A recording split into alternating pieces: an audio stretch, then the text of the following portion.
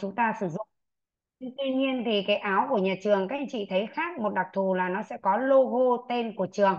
Nên khi các anh chị đi làm việc hay là làm ở đâu thì à, à cũng sẽ biết được cái thương hiệu logo của trường và cũng đã có sự uy tín để giảng dạy cũng như là đào tạo các anh chị ra để gọi là diện thực hành được ngay. À, và cũng à, theo sự quyết định à, của nhà trường mà ừ, công ty à, đề xuất thì à, đã có quyết định ngày 11 tháng 6 chúng ta khai giảng và chúng ta cứ tiến hành. À, tuy nhiên thì các thầy đang đi công tác xa nên là công ty và thầy trò đấy của công ty cũng sẽ tự um, khai giảng. Đấy và chúng ta cũng uh, nên có mặt đầy đủ. Uh, nếu như mà có chút uh, công việc hay bận nào thì 11 tháng 6 các anh chị cố gắng có mặt để chúng ta chụp ảnh để dữ liệu để báo cáo là chúng ta có mặt điểm danh đấy trong cái buổi lễ khai giảng đó. À, vậy thì à, đấy là những cái mà cô đã um, trao đổi các anh chị. Thế thì hôm nay thì à, chúng ta sẽ sang tiếp một phần nữa đó là về giải phẫu sinh lý và hệ thần kinh. Vậy thì hôm trước là đã gì ạ? Đã gửi cho chưa gửi cho cho cho Yến thì Yến sẽ gửi cho nhóm nhé à, cái tài liệu này vào cái nhóm à, của công ty để cho mọi người vì chưa nhận được sách thì à, chúng ta muốn để học được à, hiểu thêm. Thì à, chúng ta sẽ à, trong quá trình giảng mà các anh chị chưa hiểu các anh chị có thể à, mở tài liệu ra đọc. Sau đó các anh chị sẽ có cái bản cứng mà các anh chị đến 11 tháng 6 này chúng ta sẽ được nhận. Vậy thì à, cô đã gửi cho bên chỗ cô Yến để gửi bên à, công ty những cái chương trình mà hôm trước chúng ta học vào hôm nay. À, tuy nhiên thì à, mở trong à, điện thoại chúng ta đang học Zoom thì chúng ta sẽ không mở được. Nếu bạn nào có máy tính thì chúng ta sẽ mở được vì à, trong cái phần này thì có cái phần thần kinh là nó hơi dài nên là mình à, sẽ không mở được bằng à, điện thoại.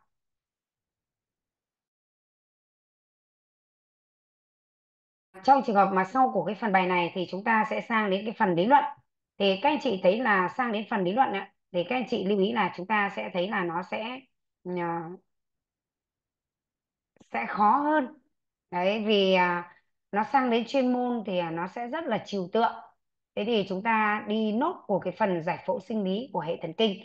Hôm trước hôm qua thì chúng ta đã đã nêu được về hệ uh, xương và hệ cơ đấy để chúng ta biết được cái cấu tạo con người cũng như là gì ạ? Cái chức năng sinh lý đấy và giải phẫu của cơ thể chúng ta từ những cái chức năng sinh lý đó bình thường.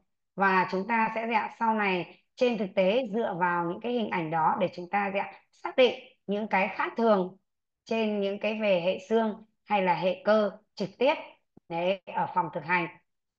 À, chúng ta sẽ sang đến hệ thần kinh. Vì sao? Cô giới thiệu đến hệ thần kinh vì à, đây là một cái hệ mà cũng nó liên quan đến dạng về cái sự vận động, cảm giác con người chúng ta. Và một số những cái bệnh liên quan như chúng ta thấy là dạng là liệt dây thần kinh số 7 ngoại biên chúng ta có trong mặt chín bệnh chúng ta được học. Bệnh thứ hai đó là bệnh đau thần kinh hông to.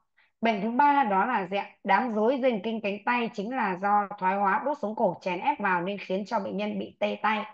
Và bệnh tiếp theo nữa cuối cùng mà dài nhất đó là bệnh dạng liệt nửa người do tai biến mạch máu não. Vậy thì chúng ta sẽ đi vào cái, cái phần về giải phẫu hệ thần kinh.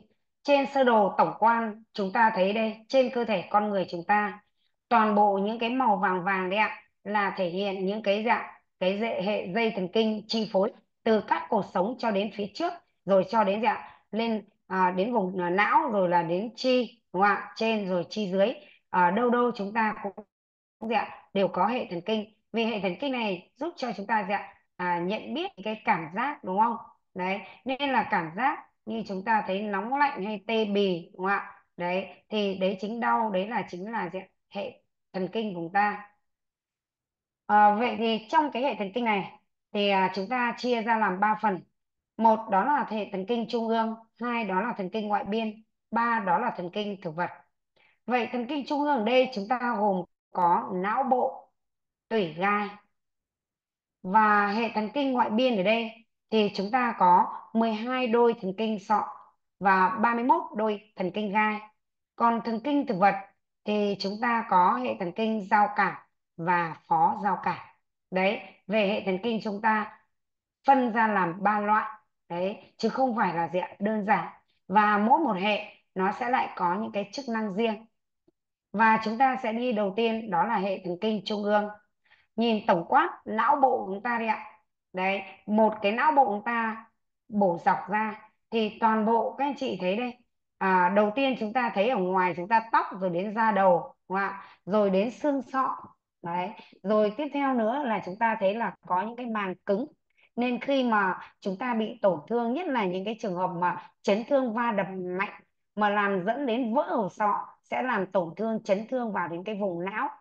Và đây chúng ta thấy là gì ạ? Tất cả những cái vùng ở đây thì chúng ta thấy là ở vùng dưới đồi thị rồi là um, chúng ta thấy là tiểu não đúng không ạ? Rồi là cầu não đấy rồi là um, đại não. Đấy thì đây là toàn bộ những cái hoạt động chi phối uh, não bộ của chúng ta chỉ huy toàn bộ đúng không ạ? Vậy uh, về não ở đây thì chúng ta khi chúng ta trưởng thành đặc biệt là tuổi già có nhiều yếu tố ảnh hưởng đến thần kinh và giết chết các tế bào não. Và theo một số chuyên gia thì một số thói quen hàng ngày có thể gây ảnh hưởng không tốt đến não. Về lâu dài có thể gây teo não suy giảm trí nhớ. Ừ, ừ, Di có việc gì không nhỉ?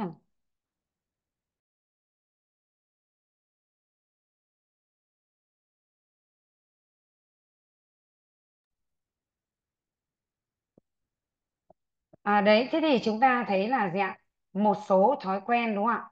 Đấy, không tốt. Đấy thì chúng ta thấy là về lâu dài sẽ có cái tác nhân à, đến ảnh hưởng đến não đó là teo não và suy giảm trí nhớ. Thứ nhất, đó là gì ạ? Thuốc lá. Và với mỗi điếu thuốc lá, người hút đã hít vào cơ thể 7.000 hóa chất độc hại, trong đó có 6 chín chất gây ung thư. Thuốc lá còn gây một số các bệnh khác như viêm phế quản mãn tính, bệnh phổi tắc nghẽn mãn tính, vân vân. Về thứ hai đó là gì ạ? Rượu bia. Người uống rượu bia thường rơi vào trạng thái phấn khích tinh thần, khó kiểm soát hành vi và suy nghĩ của mình. Ước tính khoảng 100.000 tế bào não sẽ bị giết chết khi uống một ly bia. Trong cơn say rượu, con số tế bào não chết đi có thể lên tới 10 triệu tế bào. Do vậy, uống quá nhiều rượu bia sẽ hủy hoại tế bào não. Dấu hiệu thứ ba đó là gì ạ? Mất nước, gây mất cân bằng điện giải, làm rối loạn truyền đạt thông tin giữa các tế bào thần kinh, dẫn đến hiện tượng co giật. Tất cả những cái nguyên nhân này sẽ khiến não chúng ta phải làm việc nhiều hơn để thực hiện vai trò của mình nên có thể bị teo nhỏ. Mất ngủ, theo quỹ giấc, ngủ quốc gia của Mỹ thì ở người trưởng thành cần ngủ từ 7 đến 9 tiếng mỗi đêm. Điều này sẽ làm cho não chúng ta đủ thời gian để trải qua các giai đoạn của giấc ngủ, dần dần trở nên sâu hơn và kết thúc ở giấc ngủ REM. Giấc ngủ chuyển động mắt nhanh, não bộ làm việc tích cực giúp chúng ta ngủ ngon. Thế thì đấy là dấu hiệu thứ tư. Và tiếp theo nữa những cái yếu tố tác động nữa đó là stress. Cố gắng giải quyết nhiều vấn đề cùng một lúc, sẽ dẫn đến stress. Đây là cách cơ thể đương đầu với thử thách, nên nó giúp ta bằng cách cải thiện sự tập trung và chú ý. Và yếu tố thứ sáu nữa, đó là cocaine và các loại ma túy. Thế thì đây là những cái thói quen, đúng không ạ? Đấy, về sau thì chúng ta thấy là khi mà có tuổi thì cái hiện tượng chúng ta thấy là thoái hóa, teo não, nên là chính vì thế nên là giảm trí nhớ nhanh là vì như vậy. Vậy bộ não điều hành hệ thống thần kinh nó cần oxy để hoạt động. Trên thực tế, não sử dụng khoảng 1 phần 5 tổng lượng oxy cung cấp cho cơ thể bạn. Oxy giúp gửi tín hiệu thần kinh và thông điệp khắp cơ thể. Khi não không nhận đủ oxy, các tế bào não bắt đầu chết. Sự chết của tế bào xảy ra trong vòng 5 phút khi thiếu oxy.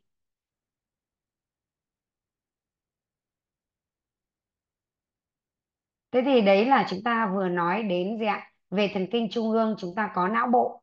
thứ hai là chúng ta có tủy sống vậy về tủy sống thì chúng ta à, tủy sống nó nằm trong ống sống đúng không ạ và hình thể ngoài là khoảng 45 cm từ C1 đến L2 có 5 đoạn cổ ngực thắt lưng cùng cụt có hai chỗ phình đó là cổ và thắt lưng còn hình thể trong thì chúng ta thấy là chất xám hình chữ H.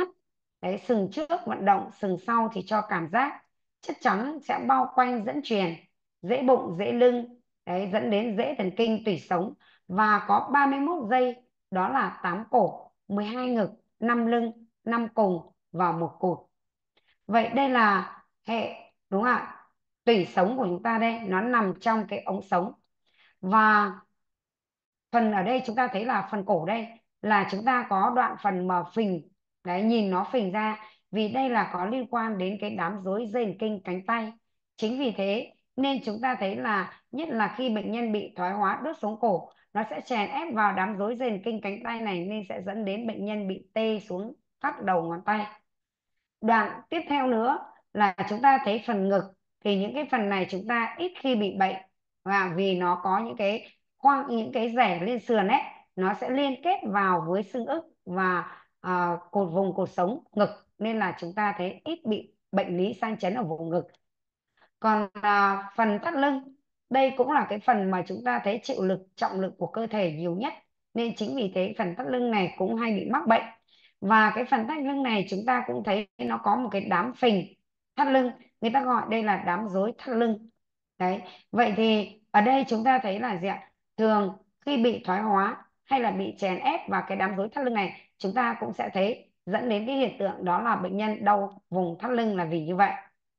Vậy về tủy ngai, chúng ta thấy nằm trong ống sống từ C1 đến L1 hoặc L2 nhìn thẳng, tủy gai thẳng đứng, nhìn nghiêng, tủy gai có hai chỗ uốn cong. Theo chiều cong của cột sống, ở cổ tủy gai cong lõm ra sau, lưng cong lõm ra trước. Thế thì chúng ta thấy đây, ở cổ đây, cong lõm, đúng không ạ? Đấy, và đây ở vùng thắt lưng đây. Đấy thế thì ờ, à, tủy gai có hình trụ dẹt màu xám trắng dài 42 đến 45 cm đây. Đấy chúng ta 42 đến 45 cm à, có hai chỗ phình phình cổ thắt lưng đây. Đấy, vùng cổ thắt lưng tương đối uh, ứng với đám rối thắt lưng cùng. Và phình cổ ở vùng cổ thì chúng ta có đám rối cánh tay. Đấy. À, vậy thì ở đây chúng ta thấy là gì ạ? Nón tủy là tận cùng của tủy gai nối với dây tận cùng chạy xuống xương cụt thế đây chúng ta thấy đây chính là gì ạ? Đấy, cái phần đây là phần nón tủy đây. Đấy, chạy xuống tận xuống xương cụt vậy, về hệ thần kinh tủy gai thì chúng ta thấy là tủy gai đây được chia thành các đoạn tương ứng với mỗi cặp thần kinh gai sống. Có 31 đoạn tủy được phân chia như sau phần cổ, cho 8 đôi thần kinh cổ. Nên nhiều khi lắm người cứ bảo là tại sao lại ờ, đốt sống cổ chúng ta học có 7 đốt sống, nhưng mà nó lại cho chúng ta 8 đôi thần kinh cổ. Đấy 7 đốt sống thì có 7 nhưng nó chia ra làm 8 đôi thần kinh cổ. Phần ngực 12 đôi thần kinh ngực. Phần thắt lưng 5 đôi thần kinh thắt lưng và phần nón tủy, cho 5 đôi thần kinh cùng và một đôi thần kinh cụt vậy đây là gì ạ đây là phần hình tủy gai phía trong đây. Chúng ta thấy là gì ạ? Một, đây là chất xám hình chữ H đây này. Đấy. hai là chúng ta thấy là chất trắng. Ba là chúng ta thấy đây là màng não tủy. Bốn là chúng ta thấy đây là rễ của sau thần kinh tủy, đúng không ạ? Năm là rễ trước của dây thần kinh tủy. Đấy. và sáu, đây chính là gì ạ? Nhánh trước. Còn đây chính là gì ạ? Phần à, thân của đốt sống. Đấy. Còn đây chính là gì ạ? Tủy gai nó nằm trong ống sống ấy ạ. Nó có mạch máu và thần kinh. Đấy chi phối và nuôi dưỡng. Vậy chúng ta giới thiệu qua về thần kinh trung ương xong chúng ta sẽ sang đến hệ thần kinh ngoại biên. Vậy hệ thần kinh ngoại biên chúng ta có 12 đôi dây thần kinh sọ. Và tương ứng với 12 đôi dây thần kinh sọ thì chúng ta thấy là dây 1 khứu giác, 2 thị giác, dây 3 chúng ta có vận nhãn, dây 4 dòng dọc, dây 5 sinh 3, dây 6 cơ vận nhãn ngoài, dây 7 mặt, dây 8 tiền đình ốc tai, dây 9 thì thiệt hổ, dây 10 lang thang, dây 11 phụ và dây 12 là hạ thiệt. Vậy tương ứng của mỗi một dây thì chúng ta thấy dây kinh khứu giác là dây 1 giúp chúng ta nhận biết ngửi. Nên khi chúng ta bị tổn thương nghĩa là gì ạ? Không ngửi được nhưng cũng cần phân biệt với những trường hợp bị viêm mũi, viêm xoang đúng không? Dây thần kinh thị giác, đây là dây thần kinh số 2, nghĩa là gì ạ? Kiểm tra thị lực. Nên là mắt của chúng ta đã khi mà bị tổn thương thì mắt sẽ gì ạ? giảm. Không nhìn. Còn trong trường hợp mà mắt cận với mắt viễn theo tuổi nó lại khác nhé còn là tiếp theo đó là dây thứ ba. Đây là dây thần kinh vận nhãn chung. Đây là dây thần kinh giúp cho chúng ta chuyển động mắt sang trái và phải. Nghĩa là chúng ta nhìn sang trái và sang phải phải đấy đó là dây thần kinh số 3 dây thần kinh dòng dọc hoặc là cơ chéo to mắt đây là dây số 4 thì à, đây chính là cái dây để giúp cho chúng ta chuyển động quay mắt chúng ta nhìn quay tròn đấy ạ. Đấy mắt chúng ta là do cái dây 4 này. Tiếp theo nữa đó là dây thần kinh tam thoa hay là gọi là dây thần kinh sinh ba. Đây là dây 5 cảm giác và vận động vùng mặt và miệng. Còn dây thần kinh vận nhãn ngoài, đây là dây thần kinh 6 giúp mắt nhìn ra ngoài. Dây thần kinh mặt, đây là dây thần kinh 7 mà chúng ta sẽ có trong cái phần chăm sóc, đó là liệt dây thần kinh số 7 đấy ạ. Khi tổn thương sẽ gây nên liền mặt. Dây thần kinh thính giác đây là thần kinh tiền đình. Dây thần kinh số 8 khi tổn thương sẽ gây giảm giảm tính lực và rối loạn thăng bằng nghĩa là tai đấy ạ, nghe kém đấy ạ, và rối loạn thăng bằng như là tròng trành đấy ạ. Dây thần kinh số 9 đây là dây thần kinh lưỡi hầu. Khi liệt, bệnh nhân thường bị khó nuốt hoặc sặc sau khi uống nước. Còn dây thứ 10 đây là dây thần kinh phế vị, hay gọi là dây thần kinh lang thang. Nó chi phối hoạt động các nội tạng trong cơ thể, dấu hiệu nghẹn đặc, sặc lọc, nên là khi bị liệt dây này thì có cái dấu hiệu nghẹn đặc sặc lọc. Dây thần kinh số 11 đây là dây thần kinh gai sống. Khi tổn thương thì bị liệt và teo cơ ức đòn chỗ và dây thần kinh số 12 đây là dây thần kinh hạ thiệt.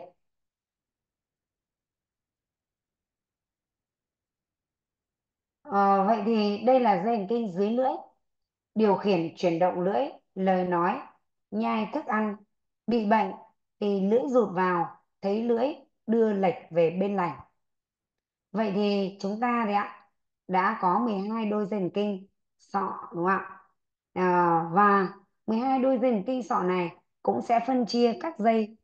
Thứ nhất là dây cảm giác thì gồm như là dây ạ dây 1 dây 2 và dây 8 còn à,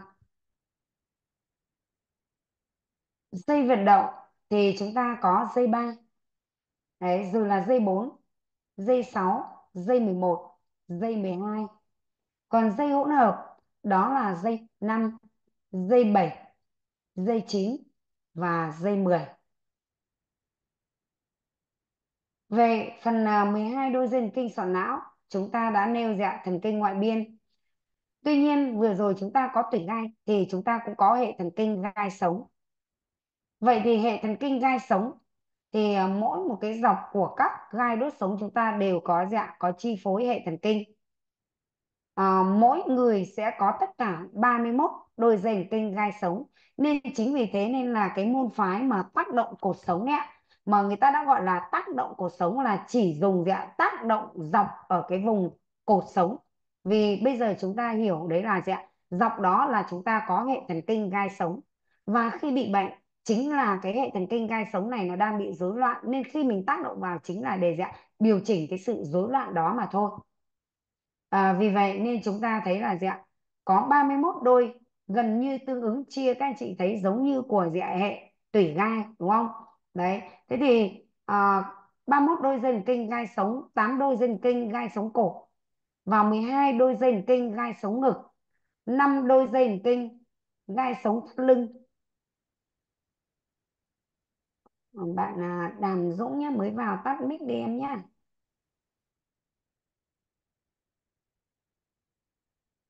và năm đôi dây thần kinh gai sống cùng và một đôi dây thần kinh gai sống cụt.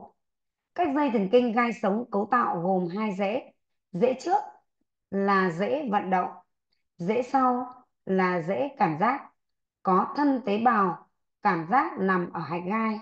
Hai rễ hợp lại thành dây thần kinh gai sống đi qua lỗ gian đốt sống chia thành hai nhánh chính. Nhánh sau sẽ chi phối cảm giác vận động cho vùng lưng.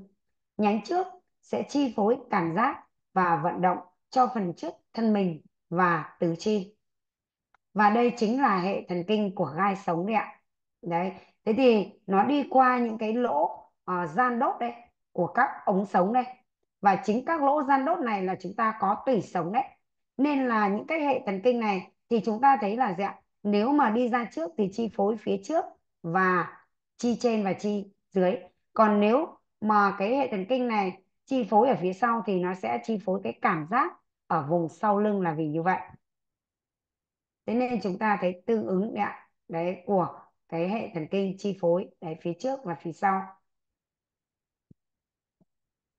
Vậy, sang đến phần thứ ba chúng ta có đó là hệ thần kinh thực vật vậy hệ thần kinh thực vật ở đây thì vị trí của hệ thần kinh thực vật chúng ta lại gồm có hai phần đó là hệ thần kinh giao cảm và hệ thần kinh phó giao cảm vậy thứ nhất chúng ta nêu về hệ thần kinh giao cảm vị trí của hệ thần kinh giao cảm về mặt chức năng có thể phân chia hệ thần kinh thành hai phần đó là hệ thần kinh động vật và hệ thần kinh thực vật hệ thần kinh động vật có chức năng điều khiển cảm giác và vận động của hệ cơ xương.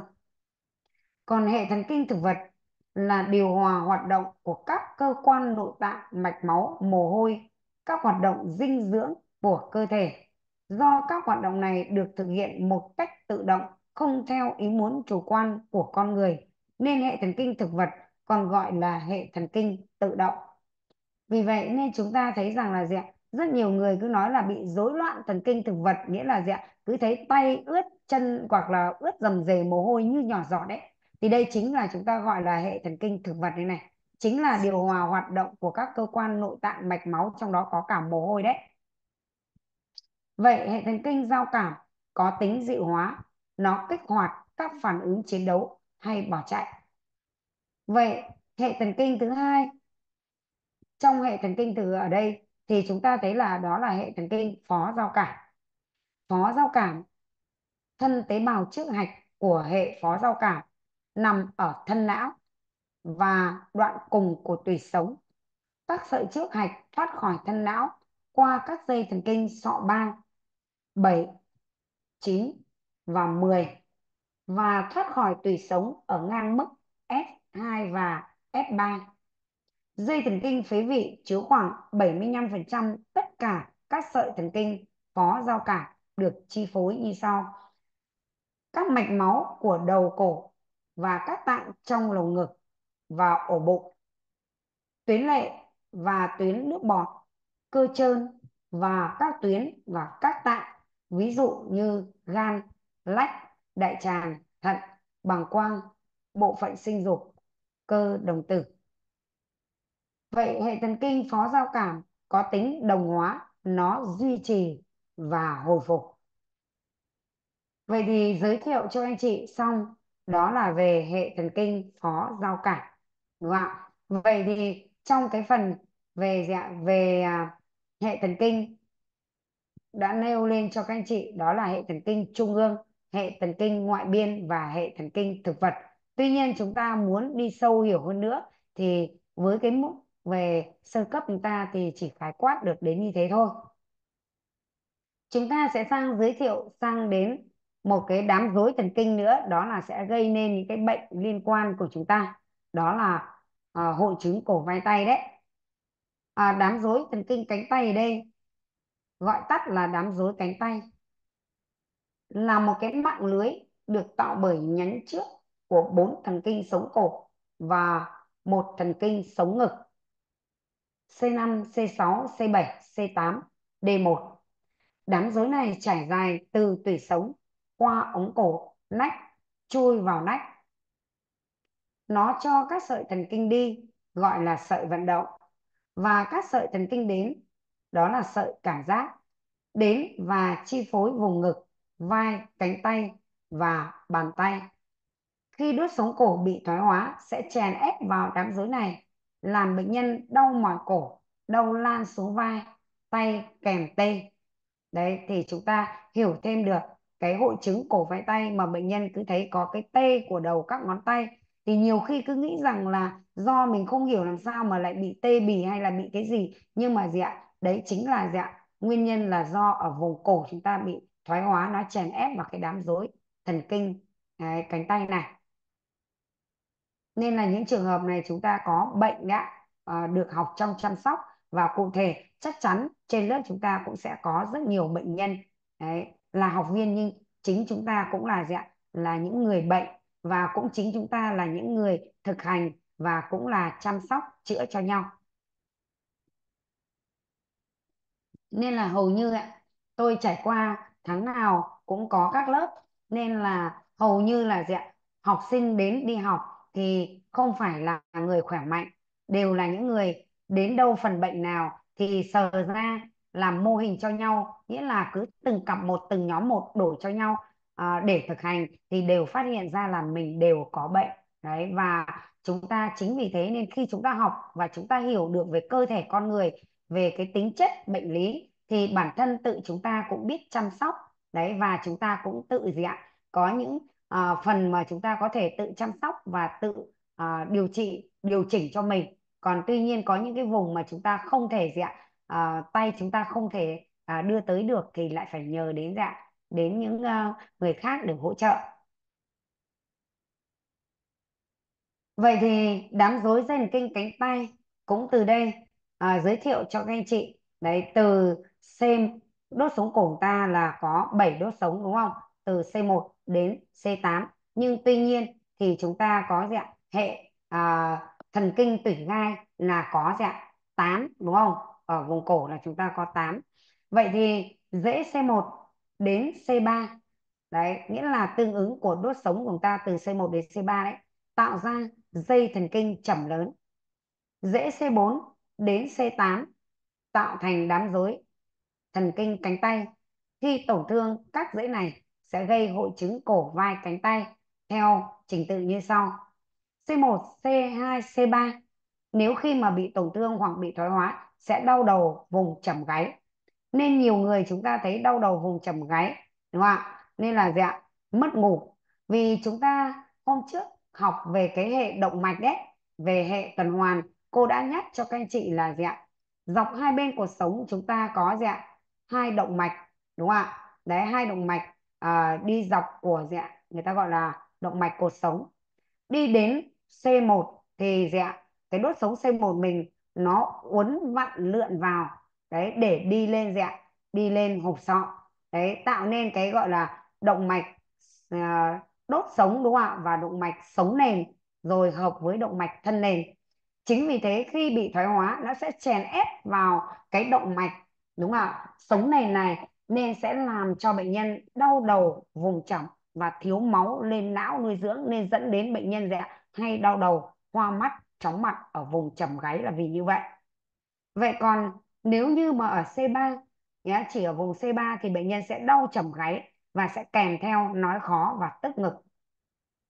Nếu như tổn thương của C4 chèn ép vào cái rễ C4 ấy thì chúng ta thấy là sẽ đau ra bả vai thành ngực trước kèm ho nấc và khó thở nếu như chèn ép vào C5 sẽ đau mặt ngoài cánh tay đến cẳng tay và yếu cơ delta. Thế thì cơ delta các chị học hôm trước vùng cơ rồi chính là cái vùng mà chúng ta hay gì ạ? Hay à, tiêm uh, um, vaccine này hay là tiêm uh, uh, thuốc hoặc là đặc biệt là chúng ta hay tiêm cái um, vaccine nào của trẻ mà để tạo cái sẹo đấy đúng không? Còn nếu như mà chèn ép vào cái à, dễ dày kinh C6 đấy thì chúng ta thấy là đau mặt trước cánh tay đến ngón cái và ngón trỏ yếu cơ nhị đầu. À, vậy thì chúng ta cứ nghe đi nêu sau đó là khi vào bệnh cụ thể của bệnh hội chứng cổ vai tay thì qua cái phần khám lâm sàng cô sẽ hướng đưa chi tiết từng cái vùng chèn ép đốt sống ở cái mặt trước mặt sau cánh tay chúng ta như thế nào và nếu như chèn ép vào dễ dây kinh C7 sẽ đau mặt sau cánh tay đến ngón giữa và yếu cơ tam đầu. Vậy thì chúng ta thấy là mặt ngoài đúng không ạ? Đấy thì à, hướng thẳng của cái cơ delta mặt sau thì chúng ta hướng thẳng của cái dạng cái à, chúng ta cứ gọi là cùi chỏ nhưng chính là của mặt sau của cái mỏm khỉu đấy. Còn à, mặt trước thì chúng ta chính là cái hướng của lòng của bàn tay chúng ta đi vào phía trong nách còn nếu chèn ép vào rễ dây C8 thì đau mặt trong cánh tay, đến ngón nhẫn và ngón út yếu cơ bàn tay. Vì vậy, nên những trường hợp mà thấy tê toàn bộ các đầu ngón tay, nghĩa là chúng ta đã bị thoái hóa, chèn ép vào toàn bộ các lỗ sống từ C5 6 7 8 đó. Nên là khi các anh chị học mà mình thấy gì ạ mình có cái dấu hiệu tê tay thì nguyên nhân ở đây chính là các anh chị đang bị thoái hóa. Và thậm chí khi đến khám, các anh chị, nhất là cái vùng đốt sống C7 chúng ta còn mãi mới sờ thấy ra cái đốt sống C7 và không còn sờ thấy cả cái khe của gai đốt sống nữa vì nó thoái hóa, nó dính liền thường 5 6 7 đúng không ạ? Dính liền với nhau rồi nó gây viêm rồi nó gây dày dính ở cái vùng cơ ở đấy. Và đây là một cái hình ảnh mà cái đám rối dây thần kinh cánh tay chúng ta đây nó chi phối đấy từ ở cổ rồi nó đi đến nách rồi nó đi chia xuống gì ạ? Đến vùng cánh tay. Nhưng đến khỉu tay thì nó sẽ chia ra làm ba nhánh. Một nhánh đó là thần kinh giữa một nhánh đó là thần kinh quay và một nhánh đó là thần kinh trụ. Sau đó đi đến bàn ngón tay thì nó chia ra các nhánh thần kinh chi phối của các ngón tay. Đấy, nên là chúng ta thấy đây là cái biểu tượng của các dây thần kinh. Đấy, đám rối thần kinh cánh tay chúng ta đây. Từ C4 đấy, cho đến tận dạng à, C8 và dạng à, có những tài liệu vùng ngực thì người ta gọi là D có tài liệu thì ghi là N. Đấy, còn bên tác động thì người ta gọi là T. Đấy. còn bình thường theo đúng như bên Tây y người ta gọi là ừ, cổ là C đấy ngực là D đấy lưng là L đấy còn à, cùng là S đúng không ạ? Đấy thì còn à, chúng ta thấy là cột đúng không? Đấy. Vậy chúng ta sẽ nêu thêm một cái à, đường đi của dây thần kinh nữa, đó là dây thần kinh ngoại biên, vì đây là liên quan đến dây thần kinh số 7. Đấy, chúng ta có cái bệnh chăm sóc đó là liệt mặt đấy. Vậy thì đường đi và liên quan thì dây 7 xuất phát từ cầu não qua rãnh hành cầu, qua xương đá, đi qua lỗ châm trũng, đi vào tuyến mang tai và chia làm hai nhánh. Nhánh thái dương mặt, nhánh cổ mặt và chi phối vận động cho các cơ bám ra mặt, cảm giác 2 phần 3 chiếc lưỡi. Và đây là một cái hình ảnh của dây thần kinh 7 ngoại biên. Đấy, nó xuất phát từ cầu não, chui qua ống tai, đúng không? qua xương đá nên vì thấy những các bệnh mà liên quan đến chấn thương vào vùng tai, xương trũng, viêm tai giữa rồi zona thần kinh tai, mà gần đó nó chèn ép, đấy, hoặc là làm tổn thương dây thần kinh vì đây là chi phối vùng mặt và cổ. Đấy thái dương đây. Đấy dây thần kinh nó chi phối. Nên chính vì thế nên khi bệnh nhân bị liệt thì chúng ta thấy là bệnh nhân sẽ dạng mất cái cảm giác. Đấy và ở vùng mặt ở cơ liệt này nó sẽ bị nhẽo đúng không? và à, nó chi phối cho 2 phần 3 chiếc lưỡi. Nên khi liệt là dạng lưỡi chúng ta cũng mất dạng mất cái cảm giác là vì như vậy. Đấy nên là biểu hiện tại sao khi bệnh nhân liệt à, dây thần kinh số 7 nên liệt nửa mặt nghĩa là mắt nhắm không kín miệng méo, đúng không rồi các nếp mà rãnh mũi, má, nếp nhăn chán, mờ mất má bên liệt thì méo. Để à, sệ, chảy sệ, miệng méo về bên lành. Bệnh nhân không thổi lửa, không hít sáo được. Đấy, và uống nước thì trào bên liệt và ăn thì đọng lại má liệt, là vì như vậy. Chúng ta sang cái đám rối dây thần kinh thắt lưng cùng để chúng ta hiểu được khi chúng ta bị đau vùng thắt lưng. Đấy là cũng bị chèn ép vào cái đám rối thắt lưng này vậy đám rối thắt lưng được tạo bởi ngành trước của bốn dây kinh. Đó là L1, L2, L3, L4 các nhánh ngành này lại chia ra làm các nhánh trước và nhánh sau. Tuy nhiên thắt lưng ta có 5 đốt sống từ L1 đến L5 đúng không ạ? Vậy các nhánh sau tạo thành thần kinh chậu hạ vị thần kinh chậu bẹn thần kinh bì đùi ngoài và thần kinh đùi các nhánh trước tạo thành thần kinh sinh dục đùi thần kinh bì một phần ngành trước của dây thần kinh L4 chọc với ngành trước của L5 sẽ tạo thành thân thắt lưng cùng và đây chúng ta cũng thấy đây là gì ạ? Đây là biểu hiện của đám rối dây thần kinh thắt lưng. Nên chính vì thế nên là cái hệ tủy gai chúng ta nó có hai chỗ đoạn phình phình là vì như vậy. Đấy vì nó có cái đám rối dây thần kinh cổ. Đấy, và đám rối thắt lưng cùng đấy thì đây cũng chính là gì ạ? Nơi xuất phát. Đấy đám rối dây thần kinh từ L đúng không ạ? Thì chúng ta thấy là gì ạ? L4 đây cho đến tận gì ạ? À, đến đốt sống đúng không ạ? Của cái cùng S5 đấy và nhóm ở đây chúng ta cũng thấy chi phối đây. Đấy của thắt lưng cùng là ở đây L4 L5 còn các nhánh đấy thông xám rồi là thần kinh tạng chậu rồi là nhánh mông trên đây. Đấy nhánh mông dưới rồi nhánh cơ đấy rồi là à, thần kinh ngồi đấy gồm có thần kinh chày và thần kinh mát. Thì chính từ cái xuất phát L4 L5 này chính là nơi xuất phát của dây thần kinh hông to đấy. Đấy nên là dây thần kinh hông to chúng ta thấy đến tại sao? Đến mặt đùi. Đấy nó sẽ chia ra làm hai nhánh. Đấy một nhánh đi của mặt sau mà một nhánh đi một mặt ngoài chính là dây thần kinh chày và dây thần kinh mát. Chung là vì như vậy. Đấy còn à, những các nhánh đây thì chính là nhánh của thần kinh vuông đùi hoặc là cơ bịch trong và sinh đôi đúng không ạ? Đấy còn à, đây là cái đám rối của thần kinh lưng cùng là như vậy. Vậy chúng ta sẽ có thêm nữa đó là dây thần kinh hông to. Đây cũng là một trong những cái bệnh mà chúng ta liên quan đến dạng à, ờ, rất là nhiều đấy tổn thương. Mà đặc biệt thì các anh chị thấy là dây thần kinh hông to nhất là cái đợt mà chúng ta hôm qua giới thiệu về hệ xương nói đến về dạng cái cấu trúc của địa đệm. Đấy 95% đúng không ạ? Đấy là thoát vị địa đệm. Đấy thì gây nên cái đau dây thần kinh không to này. Đấy ở L4 L5 và L5 S1 là vì như vậy. Vì vậy nên là những cái bệnh nhân mà đau vùng thắt lưng mà lan xuống mông hoặc là dạng mặt sau đùi hoặc là mặt ngoài đùi đấy mà bệnh nhân thấy dạng à, tê bì đúng không ạ? Đi lại khó khăn đặc biệt là bệnh nhân dạng không ngồi được.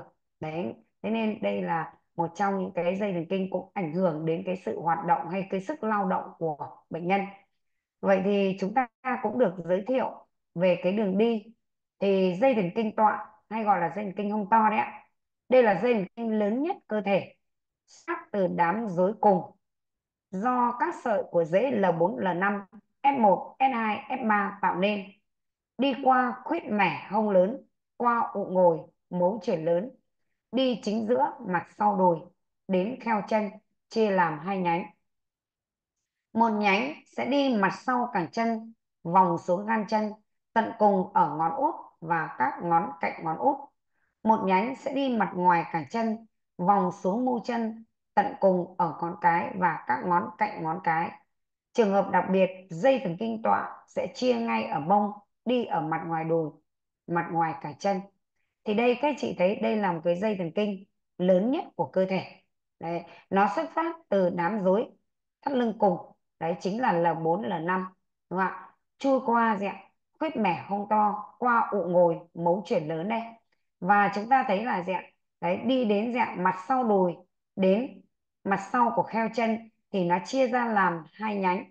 Đấy, một nhánh là thần kinh chày và một nhánh là thần kinh mác đấy ạ thì chúng ta thấy là chạy dọc đây nhánh đây là mặt sau của uh, cẳng chân này. Đấy rồi là đến gót chân này và đến tận cùng ngón út. Còn uh, một nhánh sẽ đi mặt ngoài đấy rồi đến mu bàn chân và tận cùng đến ngón cái và ngón gần ngón cái. Và cũng tuy nhiên có những trường hợp đặc biệt là dây thần kinh này nó sẽ đi nghĩa là chia ngay từ ở mông đây.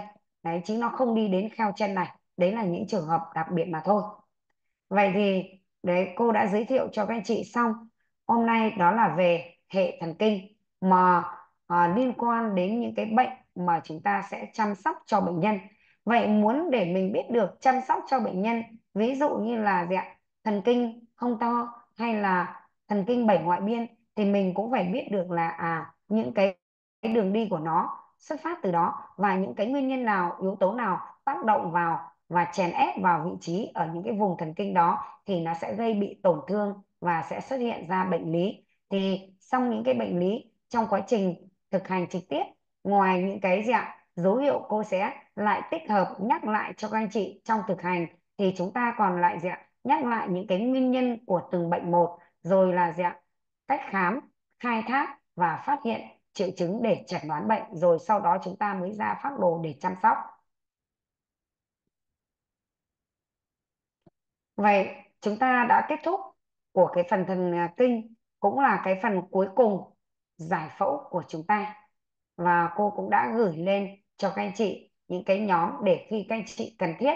Vì à, trong cái phần giải phẫu này, tài liệu nhà trường không có. Đây là các thầy cô, nghĩa là dạng xây dựng và giảng dạy để cho các anh chị nắm bắt, hiểu thêm về cơ thể của con người chúng ta.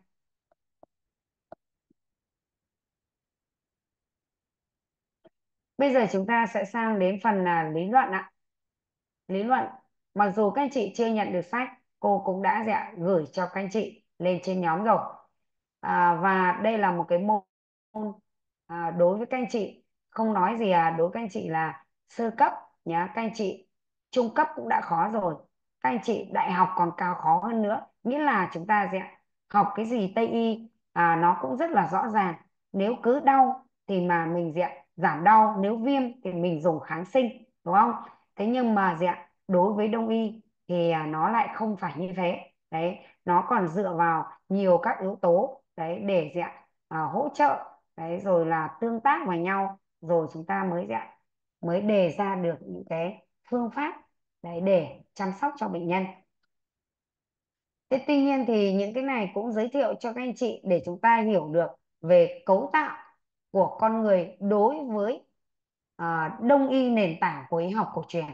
Vì cái xoa bóp bấm huyệt của mình đây đang là nền tảng của y học cổ truyền. Đấy cổ điển. Nên là những cái phần vừa rồi là cô giới thiệu cho các anh chị đó là về những cái chức năng giải phẫu sinh lý của Tây y. Đấy để chúng ta hiểu được đấy những cái hình thái hình thể của con người. Còn bây giờ chúng ta sang đến chức năng sinh lý của y học cổ truyền. Thì cái này chúng ta thấy là gì ạ? Nó sẽ rất là trừu tượng và mơ hồ. Tuy nhiên thì trong những cái phần lý luận này thì áp dụng vào so bóp bấm huyệt chúng ta ít nhưng còn áp dụng vào trong phần ví dụ như châm cứu hay là ứng dụng vào trong cái sử dụng thuốc như là à, thuốc đông y hay là thuốc nam thì nhiều hơn. Đấy còn à, đối với so bóp thì chúng ta ứng dụng gọi là nghe để dạng để hiểu thêm để biết thêm chứ còn trong cái ứng dụng trong so bóp này thì nó không ứng dụng thiết thực lắm. Vậy thì trong phần lý luận ở đây giới thiệu cho các anh chị à, đầu tiên.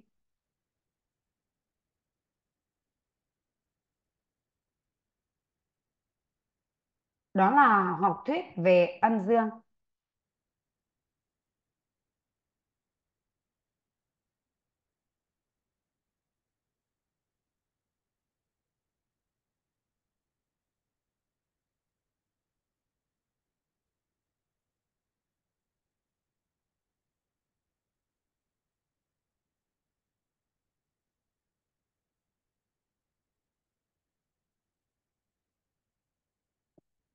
Vậy thì học thuyết âm dương chúng ta nghe đến cái từ âm dương đúng không ạ? Đây là hai cái từ đã đối lập với nhau rồi.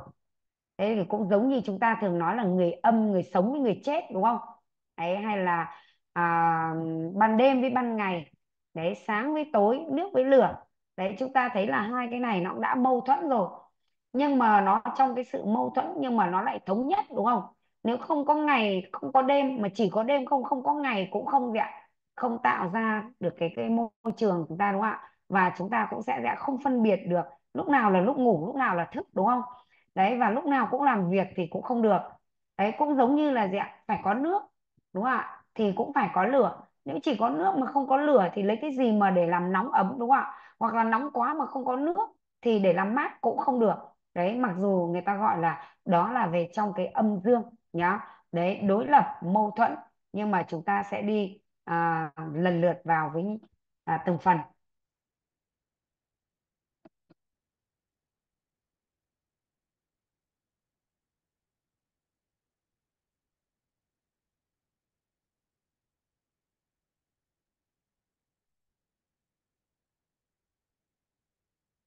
Vậy học thuyết âm dương đây là học thuyết giải thích sự vật động và biến hóa của vạn vật.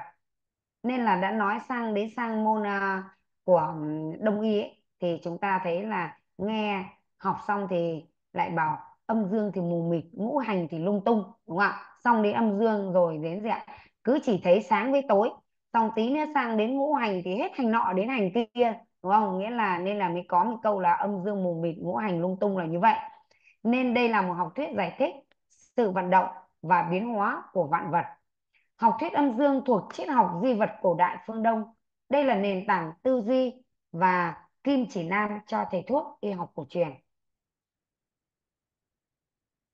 Vậy âm dương đây là danh từ, là khái niệm triết học để chỉ ra hai mặt đối lập trong cùng bản thân sự vật và hiện tượng. Sự tương tác giữa hai mặt âm dương là nguồn gốc của sự vận động, sự biến hóa và tiêu vong của sự vật hiện tượng đó. Vậy thuộc tính cơ bản của âm đó là tối tăm tĩnh đục, nặng, lạnh lẽo, tiêu cực, thoái triển, mềm mại, hữu hình.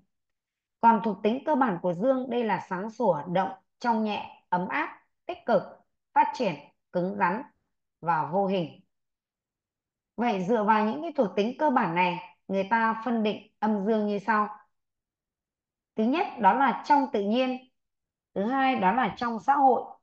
Vậy thì trong tự nhiên thì đối với âm, đất, nước, tối, lạnh đàn bà phía dưới, bên trong.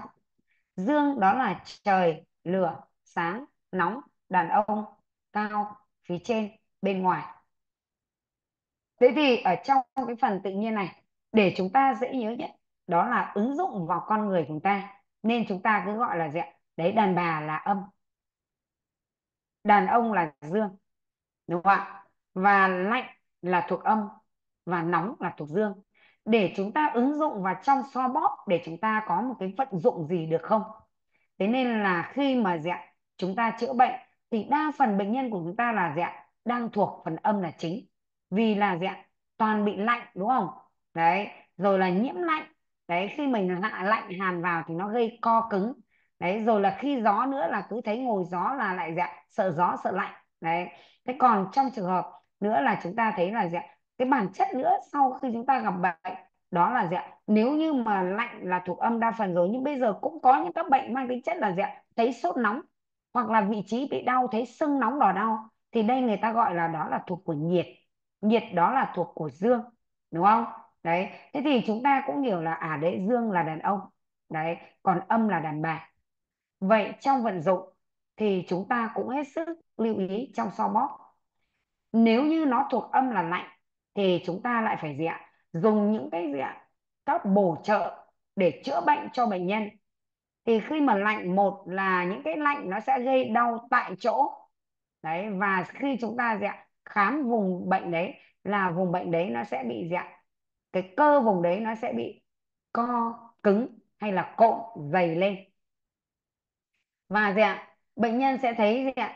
Ngồi mà lạnh gió là bệnh nhân sẽ sợ thì lúc này chúng ta phải gì ạ? Dùng một là những cái trường ấm hoặc là gì ạ? Dùng những các loại tinh dầu hoặc là cao hoặc dầu so bóp để chúng ta làm so bóp, làm cho nóng ấm cái vùng đó lên. Hoặc chúng ta gì ạ? Dùng đèn chiếu hồng ngoại hoặc là dân gian người ta dùng ngải cứu rang với muối rồi chườm đắp. Hoặc là chúng ta dùng những các loại cao nóng để đắp để làm cho nó gì làm cho nó mềm hoặc là cho nó gì ôn ấm hoặc là à, cái phần đấy nó đang bị lạnh. Đấy co lại thì mình sẽ làm cho nó nóng và nó giãn theo nguyên lý. Thì chúng ta thấy là gì ạ? À, nóng gặp lạnh thì co lại mà lạnh gặp nóng thì giãn ra đúng không? Thế nhưng mà nếu như mà gặp à, những cái trường hợp mà lại bị lạnh này thì mình gì ạ? Cũng nên khuyên bệnh nhân là gì ạ? À, đang bị lạnh thì không nên ăn uống những các đồ mang tính chất hàn lạnh để lại đưa thêm cái gì ạ? Cái nhiễm lạnh đấy, vào cơ thể con người để lại cùng kết hợp với cái lạnh ở bên bên ngoài và bên trong để phát bệnh. Nên là ví dụ những cái phần lạnh bây giờ cứ như vậy thì lại bảo là cho uống các đồ lạnh, đúng không? Ăn những cái đồ mát, đấy, hoặc là những cái đồ thực phẩm mà các anh chị thấy là như là tôm cua, cá, ốc, ếch, đúng không? Là những cái tính chất lạnh, đấy. Thế nên là những cái phần lạnh đó, nếu như mà bản thân mà bệnh nhân lạnh đấy thì bệnh nhân lại thường lại cũng hay có cái phân nát chẳng hạn, đấy, hoặc là à, phân sống. Đấy thì chúng ta hết sức lưu ý. Ngoài những cái phần mà chúng ta chữa bệnh nhưng mà chúng ta lại dạ à, dùng những cái để xoa bóp tại vị trí nhưng trong cái quá trình về ăn uống mình cũng phải dạng tiết chế trong ăn uống. Đấy. Vậy còn cái phần dương vậy thì khi người ta đang sưng nóng đỏ đau vậy thì mình có dùng những cái trường nóng đắp cao nóng cho bệnh nhân không? Dùng dầu xoa bóp không? Cái đấy không được. Vì nóng lại gặp nóng thì bệnh nó sẽ càng nặng hơn lúc đấy mình phải dùng gì ạ? À, các loại cao nhưng mang tính chất là gì ạ? À, dạng à, mát đúng không? Đấy rồi là ừ, chườm à, mát đúng không? Chứ không thể là lại bảo là người ta đang nóng. Đấy mà mình lại đi cho dầu nóng bôi nóng hoặc lại đắp chăn nóng vào người ta đang sốt thì bệnh nhân sẽ càng tình trạng nặng lên là vì như vậy. Hoặc là người ta đang nóng.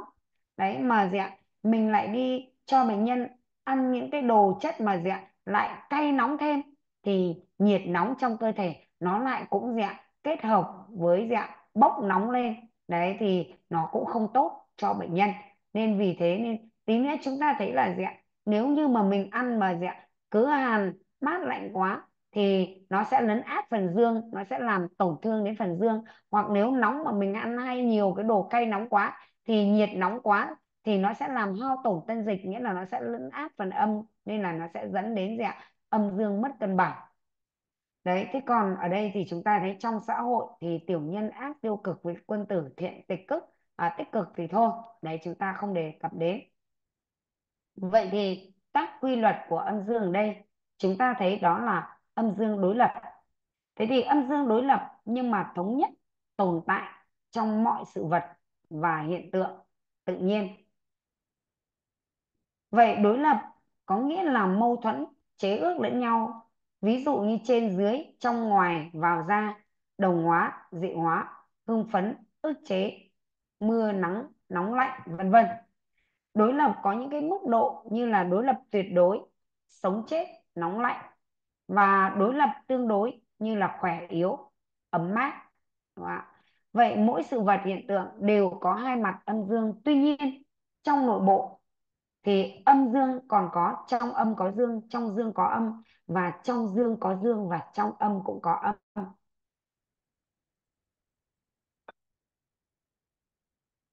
Vậy thứ hai chúng ta có âm dương hỗ căn. Hỗ ở đây là tương hỗ căn là rễ là gốc. Hỗ căn có nghĩa là tương tác, nương tựa, giúp đỡ, thúc đẩy lẫn nhau trên cùng một gốc. Hai mặt âm dương tuy đối lập nhau, nhưng phải nương tựa vào nhau mới tồn tại được nghĩa là đối lập trong một thể thống nhất. Ví dụ con người có quá trình đồng hóa và dị hóa, có đồng hóa mới có dị hóa và có dị hóa mới thúc đẩy được đồng hóa. Vậy âm dương tiêu trưởng là gì? Nghĩa là nói lên cái sự vận động không ngừng chuyển hóa lẫn nhau giữa hai mặt âm dương để duy trì cái tình trạng thăng bằng tương đối của sự vật. Âm và dương không cố định mà luôn biến động khi tăng, khi giảm, theo chu kỳ hình sin. Âm tiêu thì dương trưởng, mà dương tiêu thì âm trưởng. Đấy, thế thì chúng ta đấy, theo hình sin, đấy, thế thì âm tiêu thì dương trưởng. Đấy, mà ở đây thì chúng ta thấy là dương tiêu thì âm lại trưởng lên, đúng không? Thế nên đây là nó theo cái chu kỳ hình sin cứ lên, cứ xuống này vì như vậy. Vì vậy, thời sinh học ngày nay cũng khẳng định quy luật trên vạn vật đều hoạt động theo đồng hồ sinh học, từ cực tiểu đến cực đại, rồi từ cực đại đến cực tiểu. Âm dương biến động đến mức cực đại thì chuyển hóa âm thành dương dương thành âm. Âm cực thì dương sinh, mà dương cực thì âm sinh. Ví dụ, sốt nóng quá cao sẽ dẫn đến co giật sau đó có thể lại lạnh giá. Mùa xuân trời ấm áp dần đến mùa hè nóng bức là quá trình âm tiêu dương trưởng. Mùa thu trời mát dần đến mùa đông lạnh lẽo là quá trình dương tiêu âm trưởng.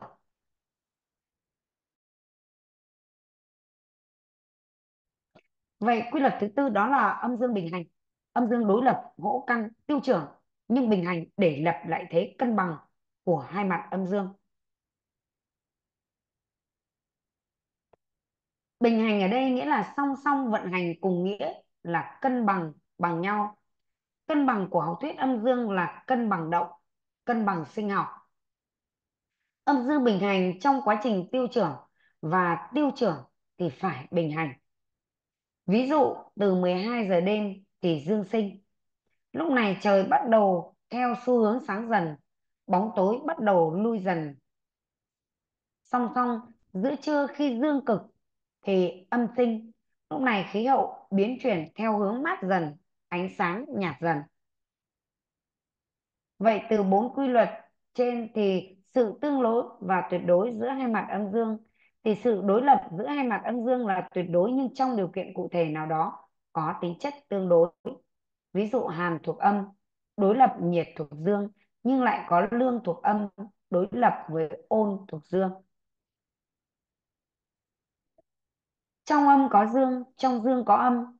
Âm dương nương tựa với nhau, cùng tồn tại, có khi xen kẽ với nhau trong sự phát triển.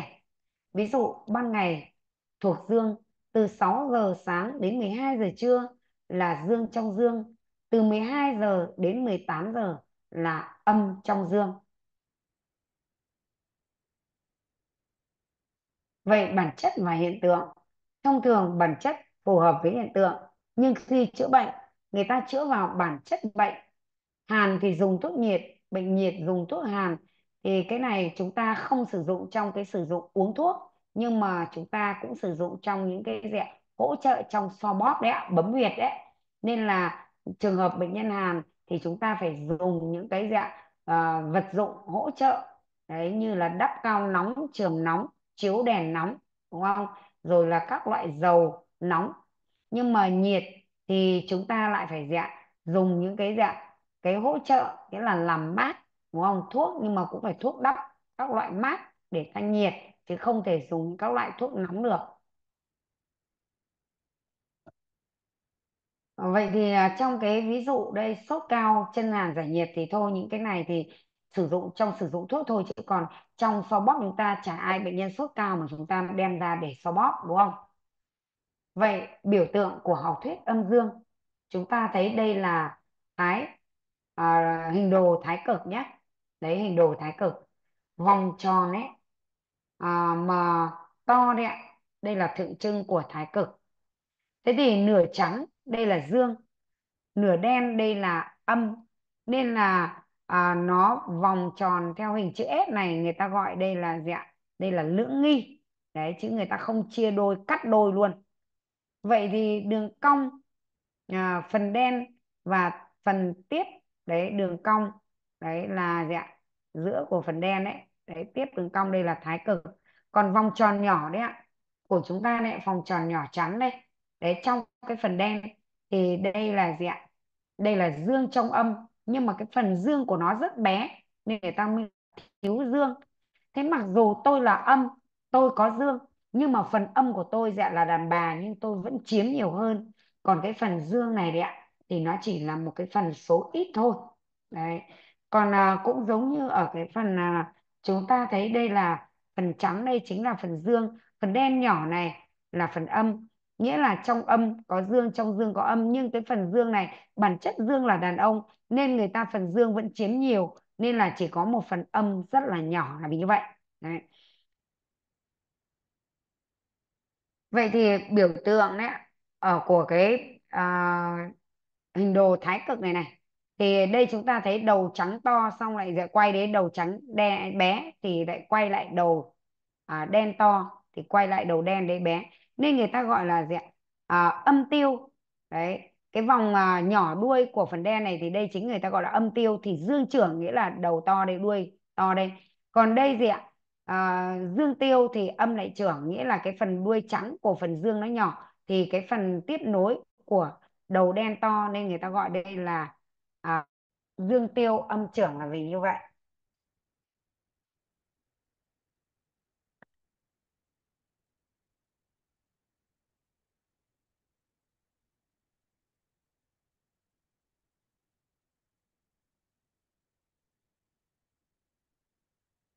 Vậy ứng dụng của học thuyết âm dương trong y học thì học thuyết âm dương đây là nền tảng tư duy của y học cổ truyền. Nó chỉ đạo toàn bộ từ lý luận đến thực tiễn lâm sàng, từ phòng bệnh đến chữa bệnh, từ chẩn đoán đến trị bệnh và từ dược lý đến bào chế từ dùng thuốc đến các phương pháp điều trị không dùng thuốc vậy thì một ở trong cái phần uh, ứng dụng đây một chúng ta thấy là phân định âm dương ấy ạ trong cơ thể đấy. Thì dựa vào thuộc tính cơ bản của âm dương người ta phân định các bộ phận các chức năng hoạt động của cơ thể theo từng cặp âm dương. Đây chúng ta thấy là theo tạng phủ theo kinh lạc và theo uh, biểu lý khí huyết đấy và triệu chứng. Vậy thì ở đây chúng ta thấy là gì ạ? Âm sẽ mang tên tạng dương sẽ mang tên phủ và về kinh cũng vậy thì kinh âm sẽ mang tên à, tạng còn kinh dương sẽ mang tên phổi nhưng về phần à, biểu lý ở đây ý là chúng ta nói về cái tính chất bệnh mới mắc hay là bệnh mắc lâu hay là bệnh mắc ở bên ngoài hay mắc ở bên trong. Đấy thế thì phần lý ở đây là ở trong nội tạng. Đấy. nghĩa là ở ngoài kinh lạc gia cơ. Vậy về khí huyết thì huyết là của âm còn khí là của dương về triệu chứng thì âm chứng thì thân nhiệt sẽ thấp, mạch nhỏ chậm, tiếng nói nhỏ thở yếu. Còn dương chứng ở đây thì chúng ta thấy là thân nhiệt sẽ cao, mạch to, nhanh, tiếng nói to và thở mạnh. Vậy phân định âm dương trong cơ thể thì trong tạng lại có tạng dương và tạng âm. Và trong ngay một tạng cũng có phần âm, phần dương. Trong một ngày thì từ bình minh đến giữa trưa là dương trong dương, từ giữa trưa đến chiều tối là âm trong dương, từ chập tối đến nửa đêm là âm trong âm, từ nửa đêm đến sáng là dương trong âm. Vậy về chẩn đoán bệnh thì bệnh tật là biểu hiện sự mất cân bằng âm dương trong cơ thể, nên là cái sự thiếu lệch ấy có thể do một bên quá mạnh thừa ứ người ta gọi đó là thiên thịnh hoặc do một bên quá yếu, đấy, thiếu hụt người ta gọi đó là thiên suy vậy thiên thịnh thì gồm âm thịnh hoặc dương thịnh và thiên suy thì gồm âm hư hoặc dương hư. Vậy thì đây là một cái biểu đồ hình của gì ạ? Cân bằng âm dương ở giữa. Còn đây là một cái biểu đồ biểu hiện đây là sự thiên thịnh nghĩa là nó đang bị thừa ứ, nó vượt lên còn đây là một cái biểu đồ là biểu hiện thiên suy nghĩa là nó đang bị thiếu hụt nên là nó bị kéo thấp xuống nên người ta gọi đây là dương hư hoặc âm hư là vì như vậy.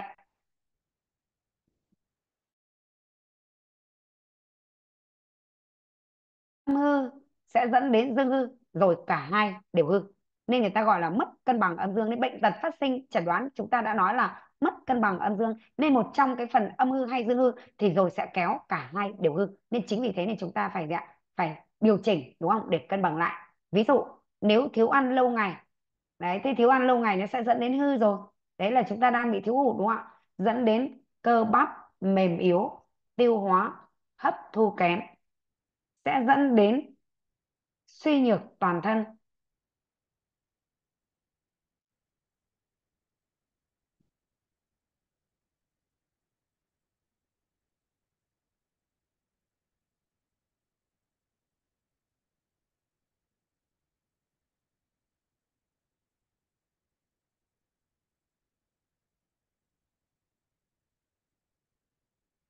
Còn âm thịnh thì dương suy. Đấy thế thì âm thịnh thì dương suy ví dụ ăn uống quá nhiều đấy dẫn đến thực tích sẽ làm tổn hại đến chức năng tiêu hóa. Đấy thế nên là chúng ta gọi là thịnh là à, thừa ứ đấy. Vậy chẩn đoán bệnh là xác định bệnh ở phần ngoài biểu hay trong lý tính chất bệnh thuộc hàn hay nhiệt và trạng thái bệnh thực hay hư thì xu hướng bệnh là âm hay dương. Đấy, thế thì biểu lý thì trong cái bảng phân định vừa rồi chúng ta đã nêu. Còn tính chất hàn và nhiệt thì chúng ta thấy là bệnh nhân nếu như biểu hiện hàn thì bao giờ cũng dạng cái phần bị bệnh là chúng ta đa phần đang nhiễm hàn hay chúng ta gọi là nhiễm âm, đúng không ạ? Đấy, âm khí là chính. Đấy, thế thì người ta gọi là hàn khí. Đấy, hàn khí đây là tà khí chứ không phải là là dương khí khí chứ không phải là khí thuộc dương. Đấy thế nên bệnh nhân sẽ dạ, à, bao giờ cũng sợ lạnh đúng không hoặc là khi gặp lạnh thì bệnh sẽ dạ, sẽ tăng lên. Đấy hoặc tại chỗ đấy bệnh nhân đau. Đấy à, chúng ta thấy là gì ạ à, đau không cố định nhưng mà ở cái vùng đau đấy sẽ gì ạ à, co cứng đúng không? Hay nổi cộm dịch. Còn là nhiệt thì các anh chị thấy là nó rất là rõ là chúng ta thấy là gì ạ sờ vào thấy nóng và gì ạ đấy thấy sưng nóng đỏ đau rõ ngay. Đấy. À, vì vậy trong cái chữa bệnh thì à, nguyên tắc chữa bệnh lập lại thế cân bằng. Nếu thiên thịnh là thực chứng thì chúng ta dùng phép tả thì cái này thôi hay hư chứng phép bổ thì cái này chúng ta chủ yếu là sử dụng trong cái sử dụng đó là trong cái dùng thuốc của đông y hay thuốc nam hay thuốc bắc đấy. Chứ còn trong cái phần so bóp chúng ta chúng ta không ứng dụng nhiều trong cái phần này nhiều đấy nhưng mà nếu như ai mà học trong sử dụng thuốc ấy, thì chúng ta nên nhớ cái câu này là hàn ngộ hàn tắc tử nhiệt ngộ nhiệt tắc cuồng. Đấy người mà bệnh nhân hàn mà cho thuốc mát lạnh sẽ nặng thêm bệnh nhiệt cho thuốc ấm nóng sẽ làm nóng thêm gây cuồng sản là vì như vậy.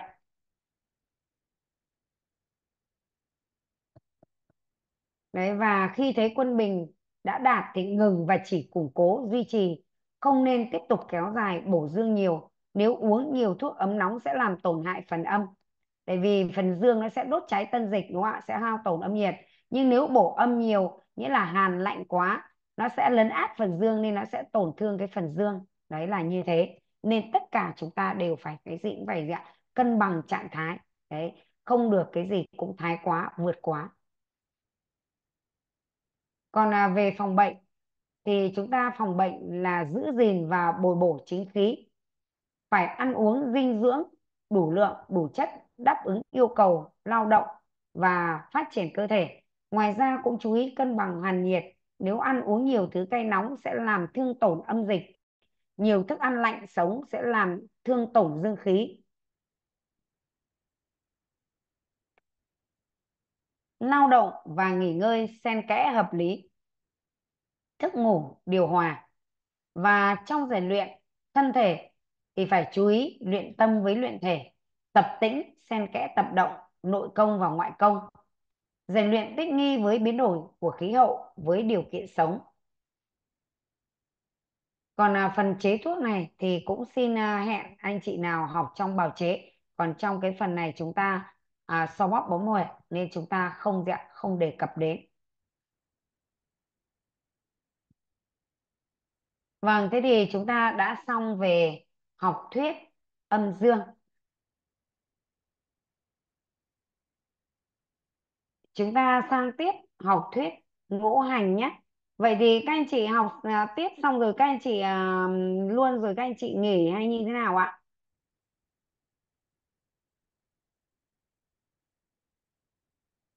Hỏi ý kiến không này à, ngồi nhiều nghe quá này ù hết cả tai ạ. Thì Cô ơi học luôn à ờ thế là muốn học luôn để xong rồi chúng ta kết thúc luôn nhá.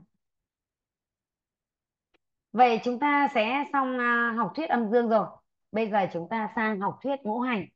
Vậy thì à, sang đến ngũ hành các anh chị thấy rồi là chúng ta thấy là à, nó cũng rất là mang cái tính chất.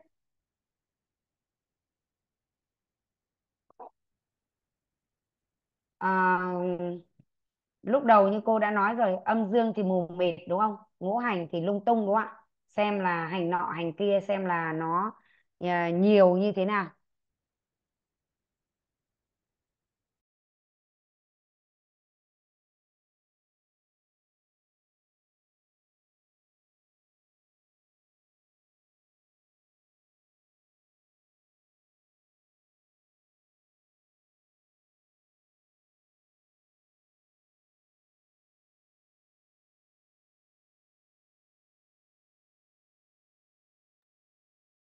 À, vậy thì học thuyết của ngũ hành ở đây chúng ta sẽ sang đến phần ngũ hành như sau và nghe đến ngũ hành là chúng ta đã thấy là năm hành đúng không ạ? Vâng, thế năm hành thì à, nó cũng là năm hành đấy nó tương ứng với ngũ tạng của chúng ta đấy. Sau học thuyết ngũ hành này thì à, chúng ta sẽ có học thuyết tạng phủ. Đấy, nó tương ứng vào trong cái dạng năm cái tạng đúng không ạ? Và năm phủ.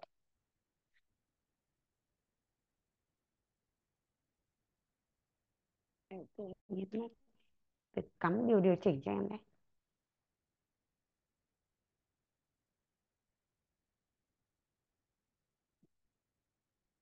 Vậy à, đại cương của học thuyết ngũ hành thì học thuyết ngũ hành cũng là triết học uh, cổ đại của phương Đông giải thích mối quan hệ hữu cơ giữa các sự vật trong quá trình vận động và biến hóa và trong y học cổ truyền phương Đông thì học thuyết ngũ hành cùng học thuyết âm dương là các học thuyết cơ bản chỉ đạo toàn bộ cơ sở lý luận của y học cổ truyền.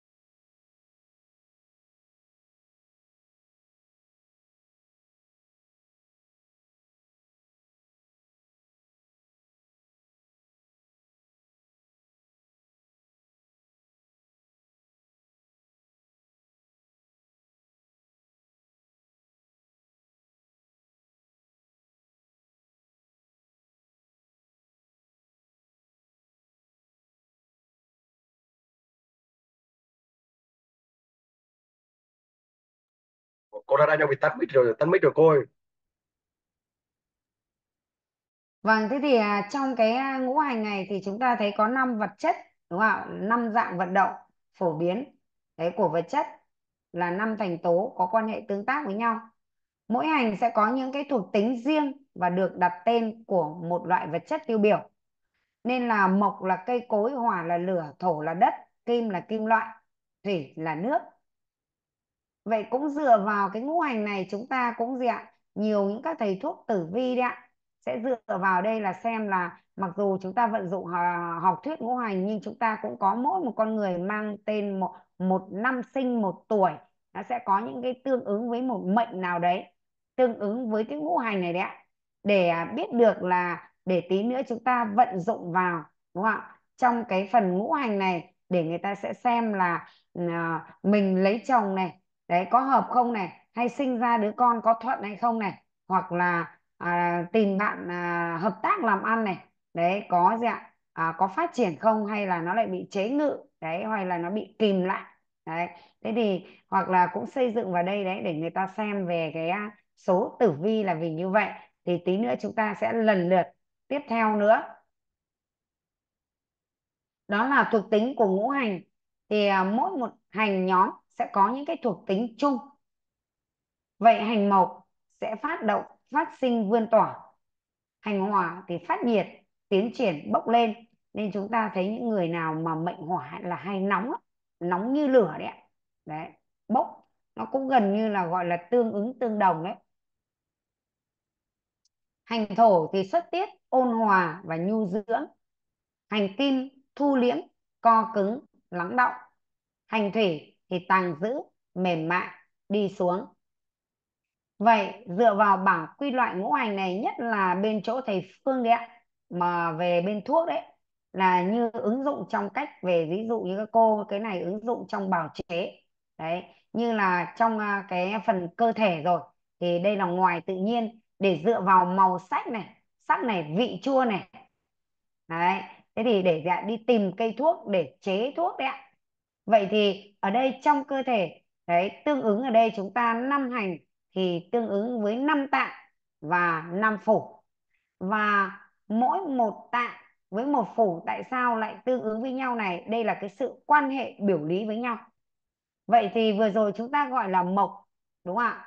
À, thì hành mộc là tạng can phủ đờ thì à, sang đến phần sau chúng ta sẽ có những cái chức năng của tạng phủ. Để chúng ta hiểu là cái chức năng tạng phủ trong của đông y ta thì can và đởm nó có chức năng gì? Hay tâm tỳ phế thận cũng thế. Vậy thì đối với đây, tạng can phủ đởm. Đấy, nhưng mà gì ạ? Khiếu, đấy, của tạng can đây là mắt. Nên chúng ta thấy là gì ạ? Khi chúng ta giận dữ là mắt chúng ta cũng vằn tia lên. Nhưng mà khi chúng ta mắt mờ mờ, mắt mỏi là dạng mắt kém cũng là do cái tạng can này, nhá, liên quan đến can. Đấy rồi thể đây là cân.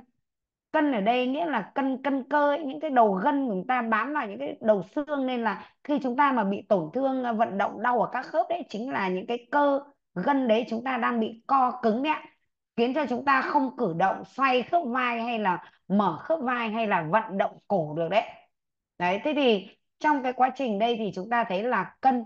Đấy nên là nếu như cân cơ của mình mà kém ấy là cũng lại liên quan đến cái tạng can này đấy đấy. Thế còn gì ạ? Mình biết giận ấy tính là giận thì cái này là do can. Nhưng mà nếu mà mình giận uh, uh, nhiều quá thì nó lại làm tổn hại đến can là vì như vậy. Vậy còn về ngoài tự nhiên đây thì can thì mùa là xuân khí là phong. Nên là chúng ta thấy là gì ạ? À, hay gây những các bệnh về gì ạ? Về cơ xương khớp là vì như vậy. Đấy. Thế nên là bị gió đúng không ạ? Đấy lại kết hợp với nếu như mà lại bị lạnh nữa đúng không? Đấy lại hàn nữa. Đấy thì chúng ta hay gây những các bệnh về cơ xương khớp. Đấy thế nhưng mà màu đây thì nếu như theo à, chúng ta thấy là mình mà mệnh mộc ấy thì mình nên mặc áo xanh mình nên mua xe xanh đúng không ạ? Đấy rồi là nên sơn nhà màu xanh. Đấy nếu như mà trong về cái tử vi hoặc là chúng ta theo cái gọi là à, để vận dụng đấy thì người ta thường xem đấy về cái bảng quy loại này nếu màu xanh, đấy, để chúng ta, cái sắc xanh mà. Đấy, thế thì những các đồ dùng của mình xanh. Nhưng nếu như vận dụng vào trong cái tìm cây thuốc, thì cái màu xanh này nó sẽ đi vào tạng can nhưng mà gì ạ? Vị của nó lại là chua. Nên muốn để gì ạ? Để cho cái vị thuốc đó, để dẫn thuốc để điều trị bệnh lý của can, thì người ta sẽ tẩm với giấm. Là vì như vậy thế nhưng mà gì ạ cũng vì cái chua này nó đi vào giấm nhưng mà nếu như mà mình lại ăn nhiều chua quá thì nó lại làm tổn hại đến can. Đấy những cái gì nó cũng cứ bất cập thái quá là nó đều có thể gây nên bệnh.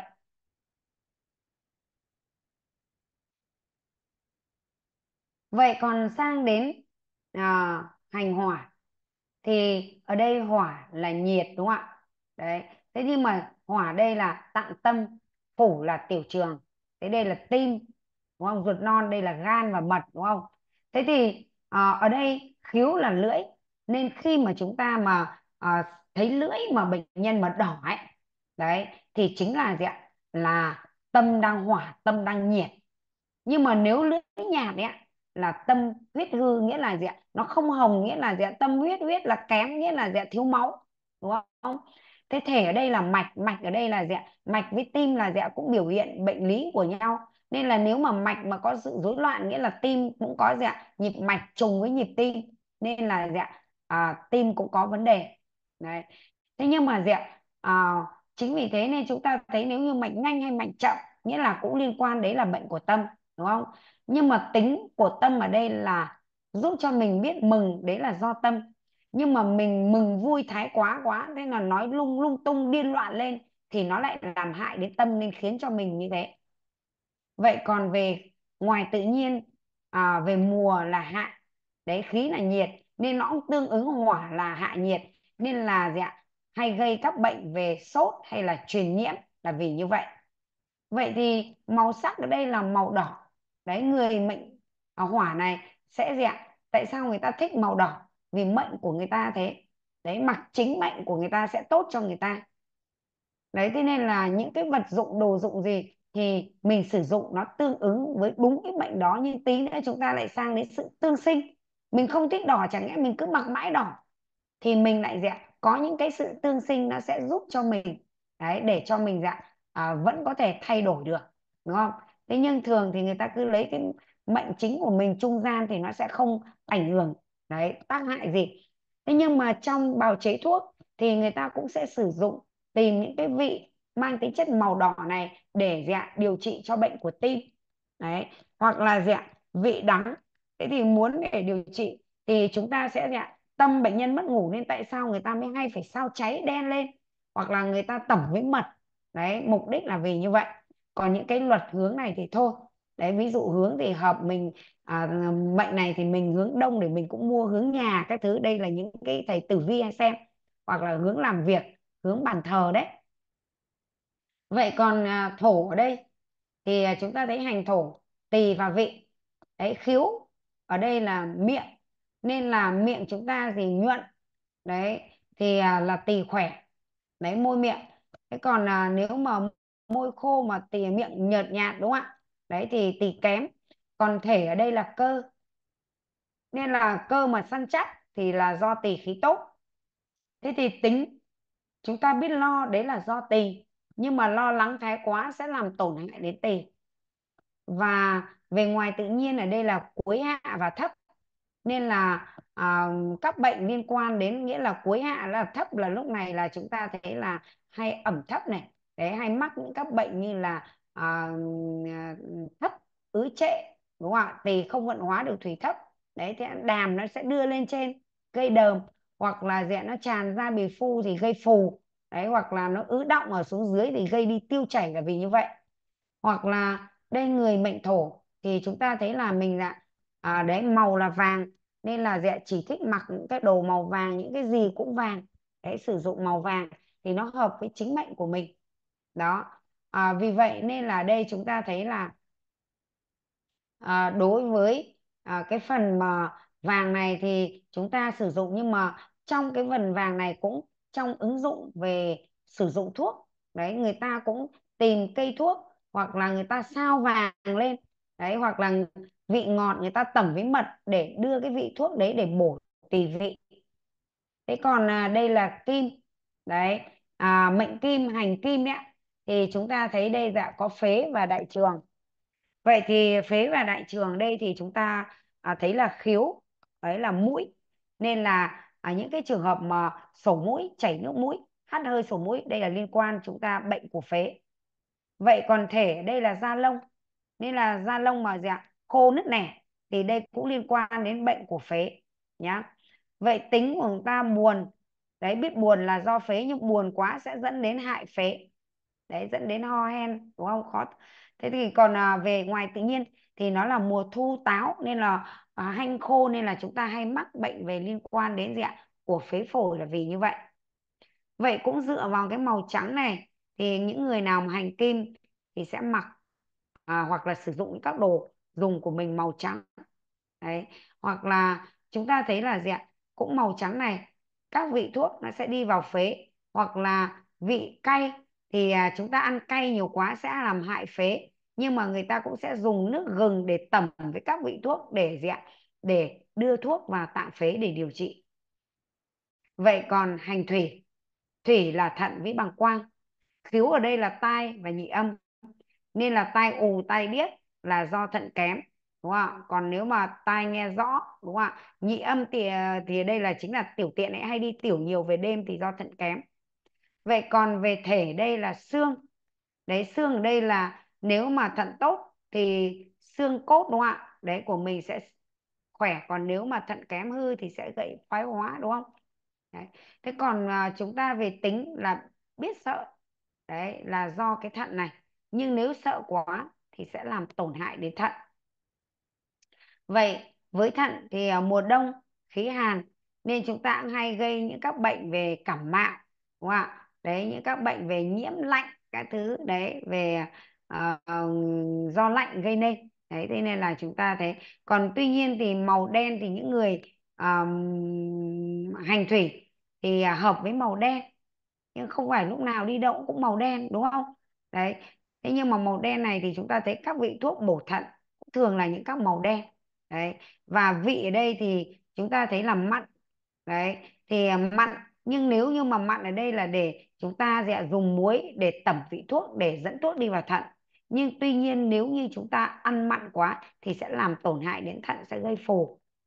Thế thì đấy đấy là cái bảng quy loại ngũ hành của chúng ta.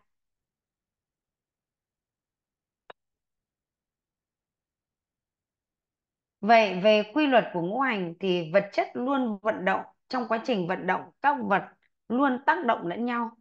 Mỗi vật thể đều chịu tác động của hai nguồn lực đối lập, thúc đẩy và kìm hãm. Vậy thì chúng ta có quy luật tương sinh và tương khắc.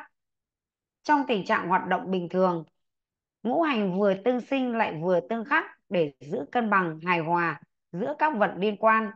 Nếu chỉ sinh mà không có khắc sẽ dẫn đến tình trạng phát triển quá mức phá vỡ sự cân bằng tự nhiên nếu chỉ khắc mà không sinh sẽ dẫn đến suy thoái tàn lụi cũng phá vỡ sự cân bằng tự nhiên.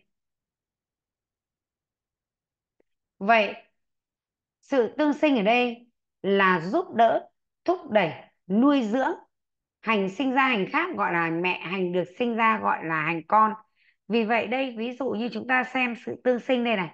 Nếu như mà mình à, lấy vợ lấy chồng hoặc sinh con hoặc là tìm người để hợp tác làm ăn mở cửa hàng thì mình nên tìm những người tương sinh cho mình vì người ta sẽ giúp đỡ mình thúc đẩy mình để nuôi dưỡng để phát triển. Ví dụ mình là mệnh mộc thì mình gì à, chồng mình là mệnh thủy thì gì thủy sẽ dưỡng cho mộc. Nhưng nếu mình mệnh mộc mà mình chồng là mình hỏa thì mình lại dưỡng cho chồng. Thế thì nếu mình chồng thủy vợ mộc đẻ ra con thì gì ạ? À, chồng dưỡng cho vợ vợ lại dưỡng cho con tuy nhiên thì trong quy luật các anh chị thấy rồi cũng phải có sự tương sinh và tương khắc không thì gì ạ à, nó sẽ không cân bằng tại trong xã hội tự nhiên nên là kiểu gì trong bốn hai người này có sự à, à, tương sinh ba người tương sinh nhau thì cũng sẽ có một người ra sinh ra con đứa thứ hai cũng sẽ có một là khác bố hoặc khác mẹ hoặc bản thân nó sẽ khác vậy. ạ khác lại hoặc là cả ba người này sẽ khác lại nó. Vì vậy nên chúng ta thấy là gì ạ? Ngoài những cái này, sự tương sinh thì mình tìm người để hợp tác, làm ăn. Thì thận thủy sinh can mộc can mộc sinh tâm hỏa tâm hỏa sinh tỷ thổ tỷ thổ sinh phế kim phế kim sinh thận thủy. Đấy, ví dụ như thận thủy sinh can mộc nghĩa là nước tưới cây tươi tốt, đúng không? Can mộc thì đốt cháy, đúng không?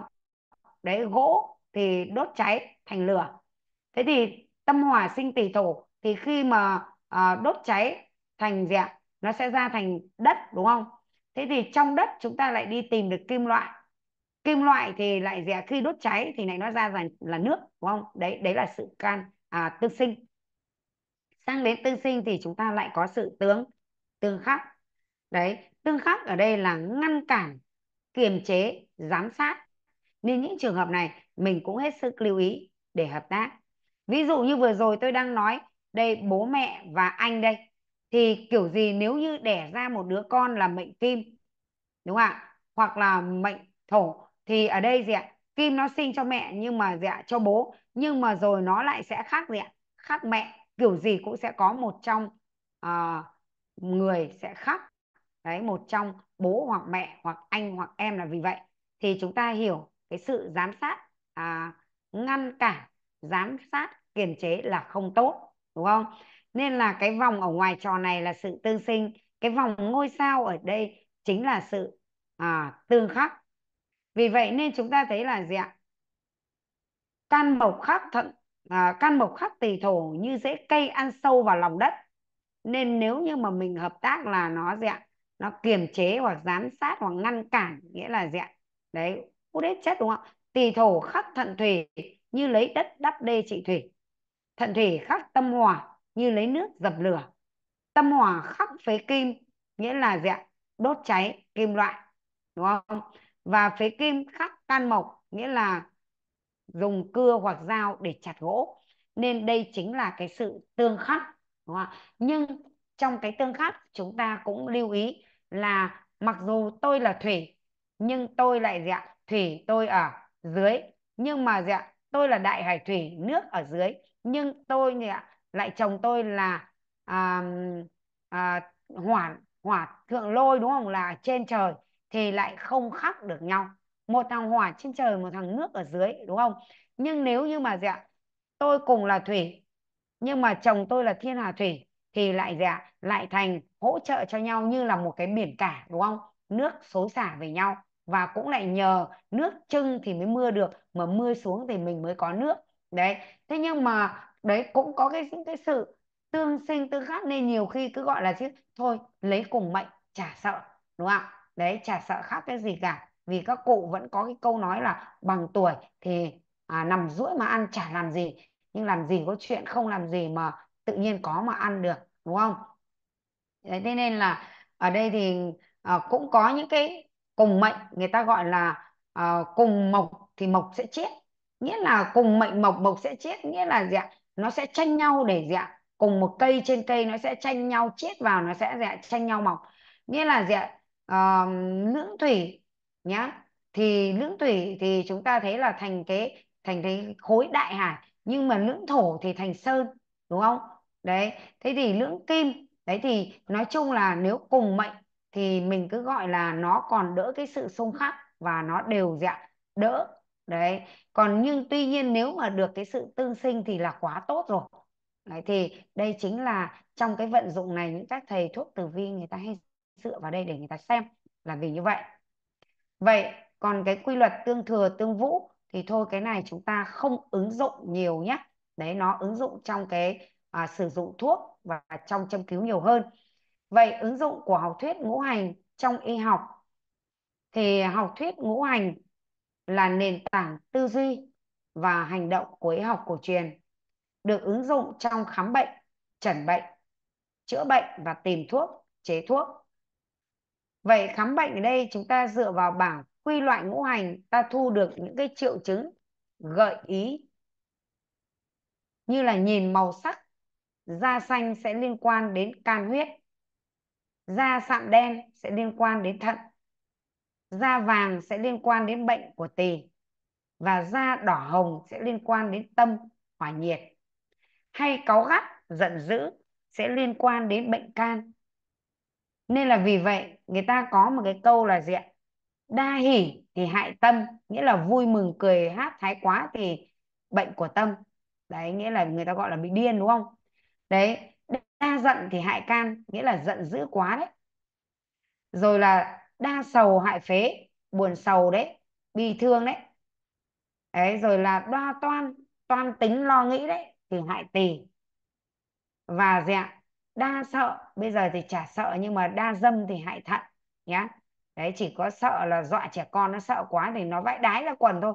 Chứ còn à, à, đối với người lớn là đa dâm là sẽ hại thận đấy thế thì chúng ta có gì ạ? Tương ứng đấy dựa vào. Nên là những cái vấn đề đấy chúng ta cái gì cũng vậy. Không nên đa đa là đây là số nhiều. Nên là uh, đấy vui mừng thái quá. Thế là thành dạ bệnh ở tâm thôi. Cười nói đi thuyên là vì vậy. Vậy về còn chẩn bệnh thì cái chính tà hư tà thực tà đấy thì cái này thôi chúng ta cũng không liên quan đến trong so bóp nhiều đâu ạ. Đấy như con hư bổ mẹ mẹ thực tả con đấy dựa vào tương thừa tương vũ thôi cái này chúng ta cũng không nêu nhé. Còn là về bào chế cũng vậy thì cái này liên quan đến nhiều trong cái à, trong học về chúng ta sử dụng trong cái bào chế à, kê đơn thuốc hay phục vụ kê đơn thuốc nhiều hơn. Nên trong đây chúng ta học về so bóp nên chúng ta không nói về vấn đề này vì đây là cái tài liệu tôi dạy chung cả trong cái phần bào chế đông dược nên là nó ghép chung cả như vậy.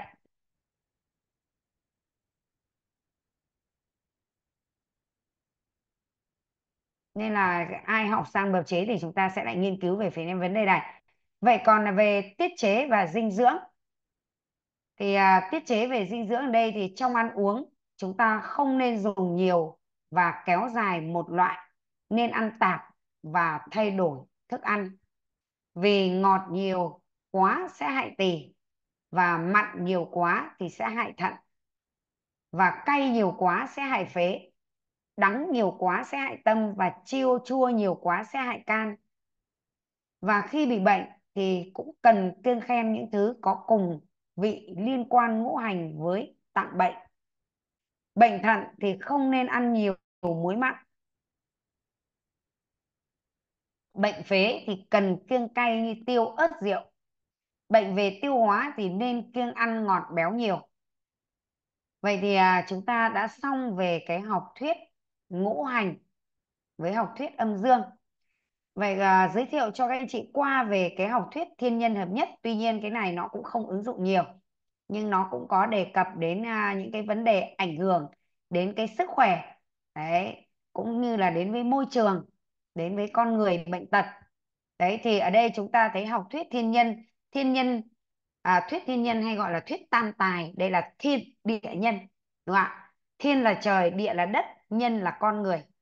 Vậy thì ba yếu tố này chúng ta có tác động vào ảnh hưởng đến ạ? Con người cũng tác động đến gì ạ? Đến môi trường đến gì ạ? Đến thiên nhiên đúng không ạ? Đấy ví dụ như đây giờ chúng ta thấy là gì ạ? À, trong trường hợp mà thiên thiên là trời bây giờ thì để cho mưa lũ lụt rồi là rông bão đúng không ạ? Đấy thiên tai cũng dẫn đến ảnh hưởng đến gì ạ? Đến cái môi trường ảnh hưởng đến sức khỏe của con con người. Thế nhưng mà ví dụ như địa ở đây địa là đất. Ví dụ như là chúng ta thấy là động đất này hay là những cái nơi mà bị uh, phun lửa núi đúng không ạ? Đấy cũng ảnh hưởng đúng không ạ? Đấy cũng làm ảnh hưởng đến cái con người cũng như là đến sức khỏe. Đấy. Thế còn nhân nhân của mình thì dạ có ảnh hưởng đến môi trường hay không? Đấy mình chặt phá rừng này. Đấy rồi là mình dạ à, ấp à, giờ nhà cửa xây nhiều này lấp hết ao hồ này không còn à, thoát nước này. Đấy à, rừng thì phá hết thì không còn có che chắn nữa này bão lũ này tràn về đúng không? Đấy thế thì à, rồi là à, những các khu công nghiệp này chất thải này khí này độc hại này. Đấy rồi là những cái mùi khói hay là những cái chất thải ra ô nhiễm môi trường khiến cho con người chúng ta dạ cũng bị dạ bị uh, ô nhiễm rồi là cũng gì ạ ngoài những cái nguồn nước này đấy rồi là rác thải rồi là trong không khí này cũng làm ảnh hưởng đến sức khỏe của con người. Nên là người ta mới nói là học thuyết thiên nhân hợp nhất là vì như vậy. Đấy hoặc là con người trong cùng một cái gia đình hoặc là xã hội đấy đúng không? Nếu như mà không dạng uh, ờ, đoàn kết không gọi là yêu thương nhau hoặc là mâu thuẫn đúng không? Cũng từ đó cũng gây tan vỡ rồi là gia đình rồi là cũng hạnh phúc gia đình hoặc là vợ nọ con kia đúng không ạ? Cũng ảnh hưởng đến dạ đến xã hội rồi cũng ảnh hưởng đến cái sự phát triển của con cái. Đấy thì cũng đấy là cũng là do gì ạ? Cũng do con người gây nên. Đấy thế thì chúng ta cũng nêu qua đấy về cái học thuyết thiên nhiên này hợp nhất. Còn tuy nhiên thì trong cái học thuyết thiên nhiên hợp nhất chúng ta cũng dạ không ứng dụng à, nhiều vào trong các kỹ thuật về xoa bóp để chữa bệnh nhưng chúng ta cũng biết được là một phần để góp phần đấy để chúng ta cũng giữ gìn được cái môi trường trong sạch đúng không ạ? Về ý thức của cá nhân cũng như là bảo vệ đấy à, cho cộng đồng cũng như là trong xã hội đấy. Thế thì không nên vứt rác bừa bãi đúng không? Đấy rồi là chất thải ô nhiễm. Thì bây giờ thì dần dần à, cũng giống như là gì ạ? Bác Vượng là chuyển toàn bộ các loại xe điện đúng không ạ? Đấy để thay thế những cái khí thải bằng xăng dầu để tránh những cái ô nhiễm. Đấy cho môi trường. Nhưng tuy nhiên thì các khu công nghiệp nhà máy lại là những cái nguồn thải ra những cái nguồn nước. Nếu như chúng ta lại dạng um, bị ô nhiễm hoặc là lại nước mà chúng ta sử dụng đấy thì nó cũng những cái nhiễm độc. Nên là hoặc là những cái chất phóng xạ hoặc là những cái chất mà ung thư hoặc nhất là những cái xử lý rác thải không tốt. Đấy mà nó dạng xâm nhập vào những cái nguồn nước hay là những cái thực phẩm. Đấy, hoặc là những cái phần mà bây giờ chúng ta thấy là ăn uống cũng như ăn uống vậy, toàn bộ đều là những cái chất bảo quản hay là những cái thuốc trừ sâu hay là những cái thuốc tăng trọng. Đấy, ăn thì rất nhiều, số lượng rất nhiều, nhưng mà chất lượng thì không có. Nên là đôi khi cứ thấy rằng là gì ạ, như thầy Phương ấy, mỗi lần cứ xách ba lô đi vào rừng đấy ạ, vào cái rừng ăn cây rừng ở với rừng đấy là những cái môi trường mà trong lành trong sạch nhất đấy ạ. Rau sạch đúng không ạ? Vừa là cây thuốc vừa là vị thuốc. Đấy nhưng mà lại vừa được nhiều cái yếu tố là rất là sạch sẽ môi trường. Nhưng mặc dù là đi ạ ra đến uh, ngoài khỏi rừng cái là chúng ta lại đều ăn những cái loại gì ạ? Đều là những cái đồ mà chúng ta gọi là bị ô nhiễm. Đấy rồi là à, chất thải rồi là tăng trọng.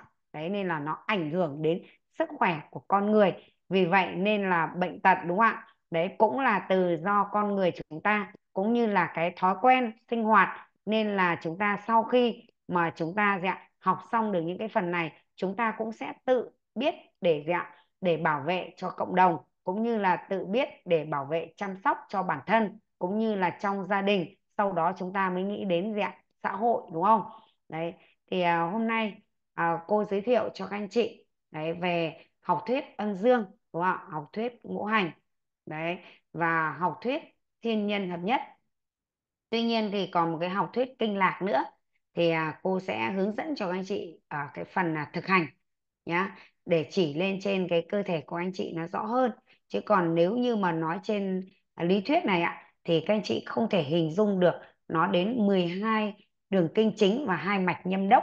Nó đi lên, đi xuống, rồi từ trong ngực rồi đi ra, rồi nó chẳng chịt như thế nào đúng không ạ? Thì lúc đó thì chúng ta sẽ dạ sẽ được uh, cứ nghe nhưng mà rồi đến thực hành thì chúng ta sẽ dạ nó sẽ rõ nét nó cụ thể hơn nó trực tiếp trên con người chúng ta nó dễ hình dung hơn nhé đấy vậy thì ngày mai chúng ta sẽ còn sang đến cái phần đó là học thuyết tạng phủ. Và à, đây là những cái chức năng sinh lý của đông y của mình đấy trong con người để chúng ta cũng biết được là à nó cũng có những cái từ ngữ nhưng nó cũng có những cái chung đấy của Tây y nhá. Để chúng ta hiểu được về cái nền tảng đông y à, để lại cho chúng ta. Và ừ, à, sau khi học thuyết tạng phủ xong chúng ta sẽ dạ, sẽ nêu ba những cái nguyên nhân mà chúng ta hay gặp. Đấy để đấy là những cái nguyên nhân dẫn đến. À, tuy nhiên thì trong cái phần so bóp chúng ta thì chủ yếu là những cái ngoại nhân ở bên ngoài. Đấy như là phong hàn là chính đúng không ạ? Hay là thử thất hay táo hỏa thì thực ra những các bệnh mà à, đã gọi là à, hỏa nhiệt thì so bóp mình không sử dụng chăm sóc rồi. Cái đấy nó phải hỗ trợ bằng những cái phương pháp sử dụng uống thuốc hay là châm cứu. Đấy chứ còn là so bóp mình nó đang bị viêm đang sưng thì mình càng kích thích vào nó càng làm tổn thương thêm mình không làm.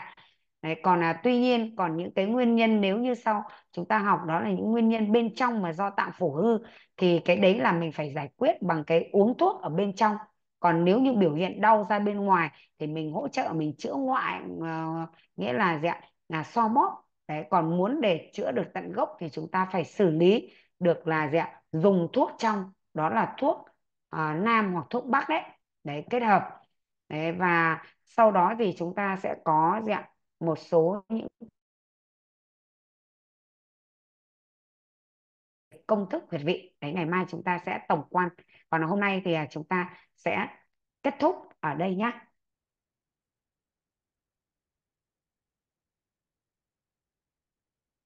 Vâng, cô Yến với à, thầy Phương có trao đổi gì với học viên không ạ? Đấy thì à, à, cũng như một số các anh chị học viên nếu như mà như cô Yến đã nói đấy thì à, các anh chị lưu ý là ai mà à, đến hay như nào mà xa hoặc là ở lại đấy thì à, liên hệ với à, à, cô Yến để à, cô à, sắp xếp hay bố trí nhé hoặc là giới thiệu đấy theo cái nhu cầu sinh hoạt đấy của các anh chị à, như mong muốn.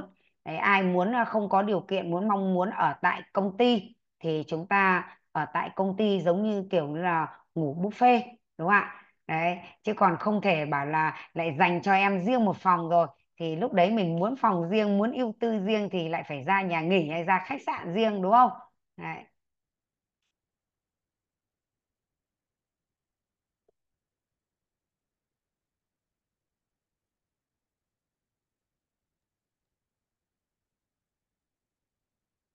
Phương có dặn dò gì các cả anh chị em thì chia sẻ hoặc dặn dò gì không?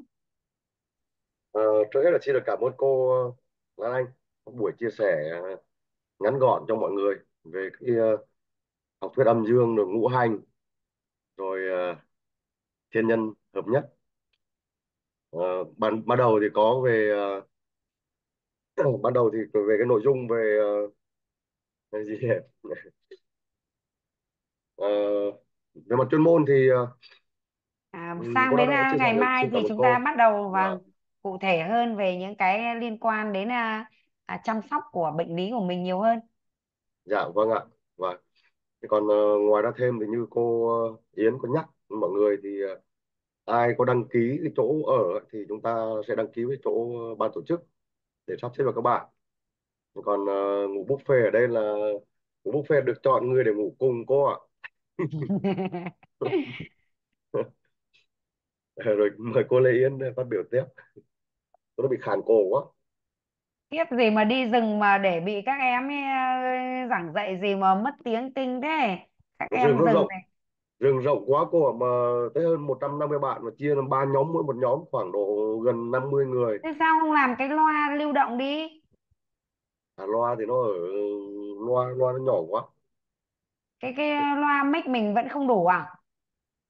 nói chung là do ban tổ chức họ họ không chuẩn bị được chứ còn cái lần cái của sau á em thì mình đi ấy mình phải chủ động làm cái loa ấy như như như như như bọn chị ấy là là dạy đấy là hay có cái loa đi theo đấy để là gọi là mình à, vừa đi mà mình nó tăng kích âm mình để mình đỡ mất tiếng đấy chứ không cứ dạy suốt như này có mà mất tiếng hết Vâng. mình chủ động thôi mình à, tự đi giảng dạy mình phải bảo vệ cái tiếng nói của mình thôi dạ vâng ạ vâng, cảm ơn cô. Em có Như chuẩn bị hôm cho trước cái Yến đứa mua nhỏ cái không? máy đi. Dạ. Nhỉ mình à, rồi hôm Yến cũng hỏi đã mua được cái máy đi chưa? Chưa chị chị chưa gửi cho em cái đường link với tên nên em có ờ, chưa chưa Ôi tìm dồi được. ôi, đấy dễ ơi là dễ có có hai trăm rưỡi một cái mua một cái dùng có mà thoải mái mấy năm nay chị dùng rồi. Nhiều thầy cô mua cái à, 2 triệu với 3 triệu với 7 triệu nhưng mà dùng á, cứ dậy được à, một buổi sáng cái lại phải đi sạc à, à, sạc cái USB đấy luôn còn cái mình mua cái loại rẻ này nó cứ đeo theo người cái là là mình à, nói được mấy ngày luôn ấy. Em thì có mua một cái đây rồi đấy chứ. Đâu của của Phương là cái nào? Cái loại này này.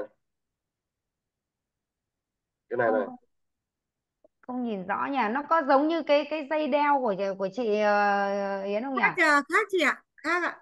Nó nó cũng có cái dây đeo ờ, nó cũng có cái dây cái cái cái này để mà mình đeo vào trong cái uh, thắt lưng á. À cũng có cái dây đeo đấy à? Vâng ạ. Ờ ừ, để để để mình sẽ gửi theo theo cái cái đấy để để vào ấy cho. Ờ, nhiều bạn vừa rồi bạn ấy mua có hai trăm rưỡi thôi. Cái này em mua triệu hai. Ôi rồi mua cái mua cái triệu hai đấy á, à, bằng Bluetooth đúng không? Ờ, vâng ạ thế thì cái đấy là loa để ở riêng một chỗ ấy chứ có phải đeo theo người đâu. Và không đeo theo người chứ chị. Chính chính là cái này nó đeo vào cặp quần đấy. Còn mà mic mic đây. À, cũng mic mic đeo kẹp vào đấy nhưng mà triệu hai thôi Yến dùng cái à, dân dã của mình thôi. Đi à, tiếng nó lại vừa rẻ mà lại tiếng nói mở hết cỡ to phết đấy không bị rè đấy. Vâng. Đấy, cái tay cái cái mic nó đây mic này Ờ, đấy. rồi nhưng mà hơi hơi bé tại vì rừng nó cũng rộng lắm. Rồi rừng nó vang rộng quá không đủ sức to có khi phải mang cái loa kéo đi đúng không? Và với với một phần nữa là cũng ờ, giao lưu hát hò uống rượu bia. À đấy cái quan trọng là đấy chứ còn nói kia có bao giờ bị mất đâu đúng không? Ồ Phương vâng ơi chỗ Phương được bao nhiêu người dược lý rồi? À bào chế đăng ký rồi. À, bào chế ờ, để em hỏi lại bởi vì có có tới 10 người đấy nhưng mà họ họ chưa sắp xếp được thời gian. Thế thì mình Thì họ ờ, thu xếp sắp xếp thì chỗ chị cũng khoảng tầm uh, năm sáu người. Ờ, nhiều người cũng cứ muốn uh, nghĩa là nhiều người cũng muốn gửi vào nhưng mà mọi người cứ muốn là như chỗ cô Quỳnh Anh vậy cứ muốn gửi vào thì bảo là thế bây giờ gửi vào thì ờ, dạy cùng như vậy sau phụ trách cùng đi như vậy thì tính ờ, như thế nào đấy tính ờ, tiền giải như nào hoặc là gửi kiểu gì đấy Thế thì hôm nào có khi phải ngồi để nói chuyện nhỉ? Hôm nào lên ờ, trực tiếp lớp nhỉ? Ờ, có, Mình ờ, ờ, chị Lan ờ, Anh ơi cái này thì để đến thứ ba thứ ba ờ, thứ mình ba nói lên mình thảo luận nhá. Thảo vâng luận ở vâng ạ đấy ừ, riêng. Đấy thì ờ, đấy thì cũng đang muốn để hợp tác là ở cái cơ sở kia là nó cũng đang ờ, mình thì đang cũng được ờ, bảy mấy người đấy đấy. Bảy người nhưng mình vì chưa triển khai vì nếu mà đã triển khai như Phương vừa rồi đấy là cái lớp của chị toàn năm mốt với ba mấy người chứ. Toàn đa phần các đối tác nó gửi chứ mình à, cứ triển khai học vào cái thì là người ta sẽ mới vào.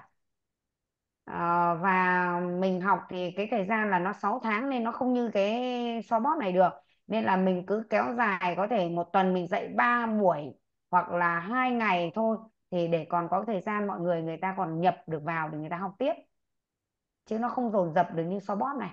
Anh à, các anh chị à, học viên có thể à, thoát ra vào à, đi nghỉ đi không muộn rồi. Rồi chúng ta nghỉ nhá. Ờ, xin, xin chào Rồi, em mọi xin chào ban tổ chức và xin chào các xin chào cô giáo, xin chào rồi anh chúc mọi Phương, người ngủ ngon rồi chào Em chào thầy cô, chị ạ. chào cả nhà cả nhá. nhà, chúc thầy cô cả nhà ngủ ngon. cả gia ngủ ngon, bye thì chị bye. à, chị Lan Anh gửi cho em bài cả bài hôm nay nhá Gửi hết đây, ở trong ờ, chỗ em lý luận gộp vào đây. vâng vâng để em xem lại vâng Nhưng mà gửi chỉ đọc được thôi chứ không in được ra đâu vì sau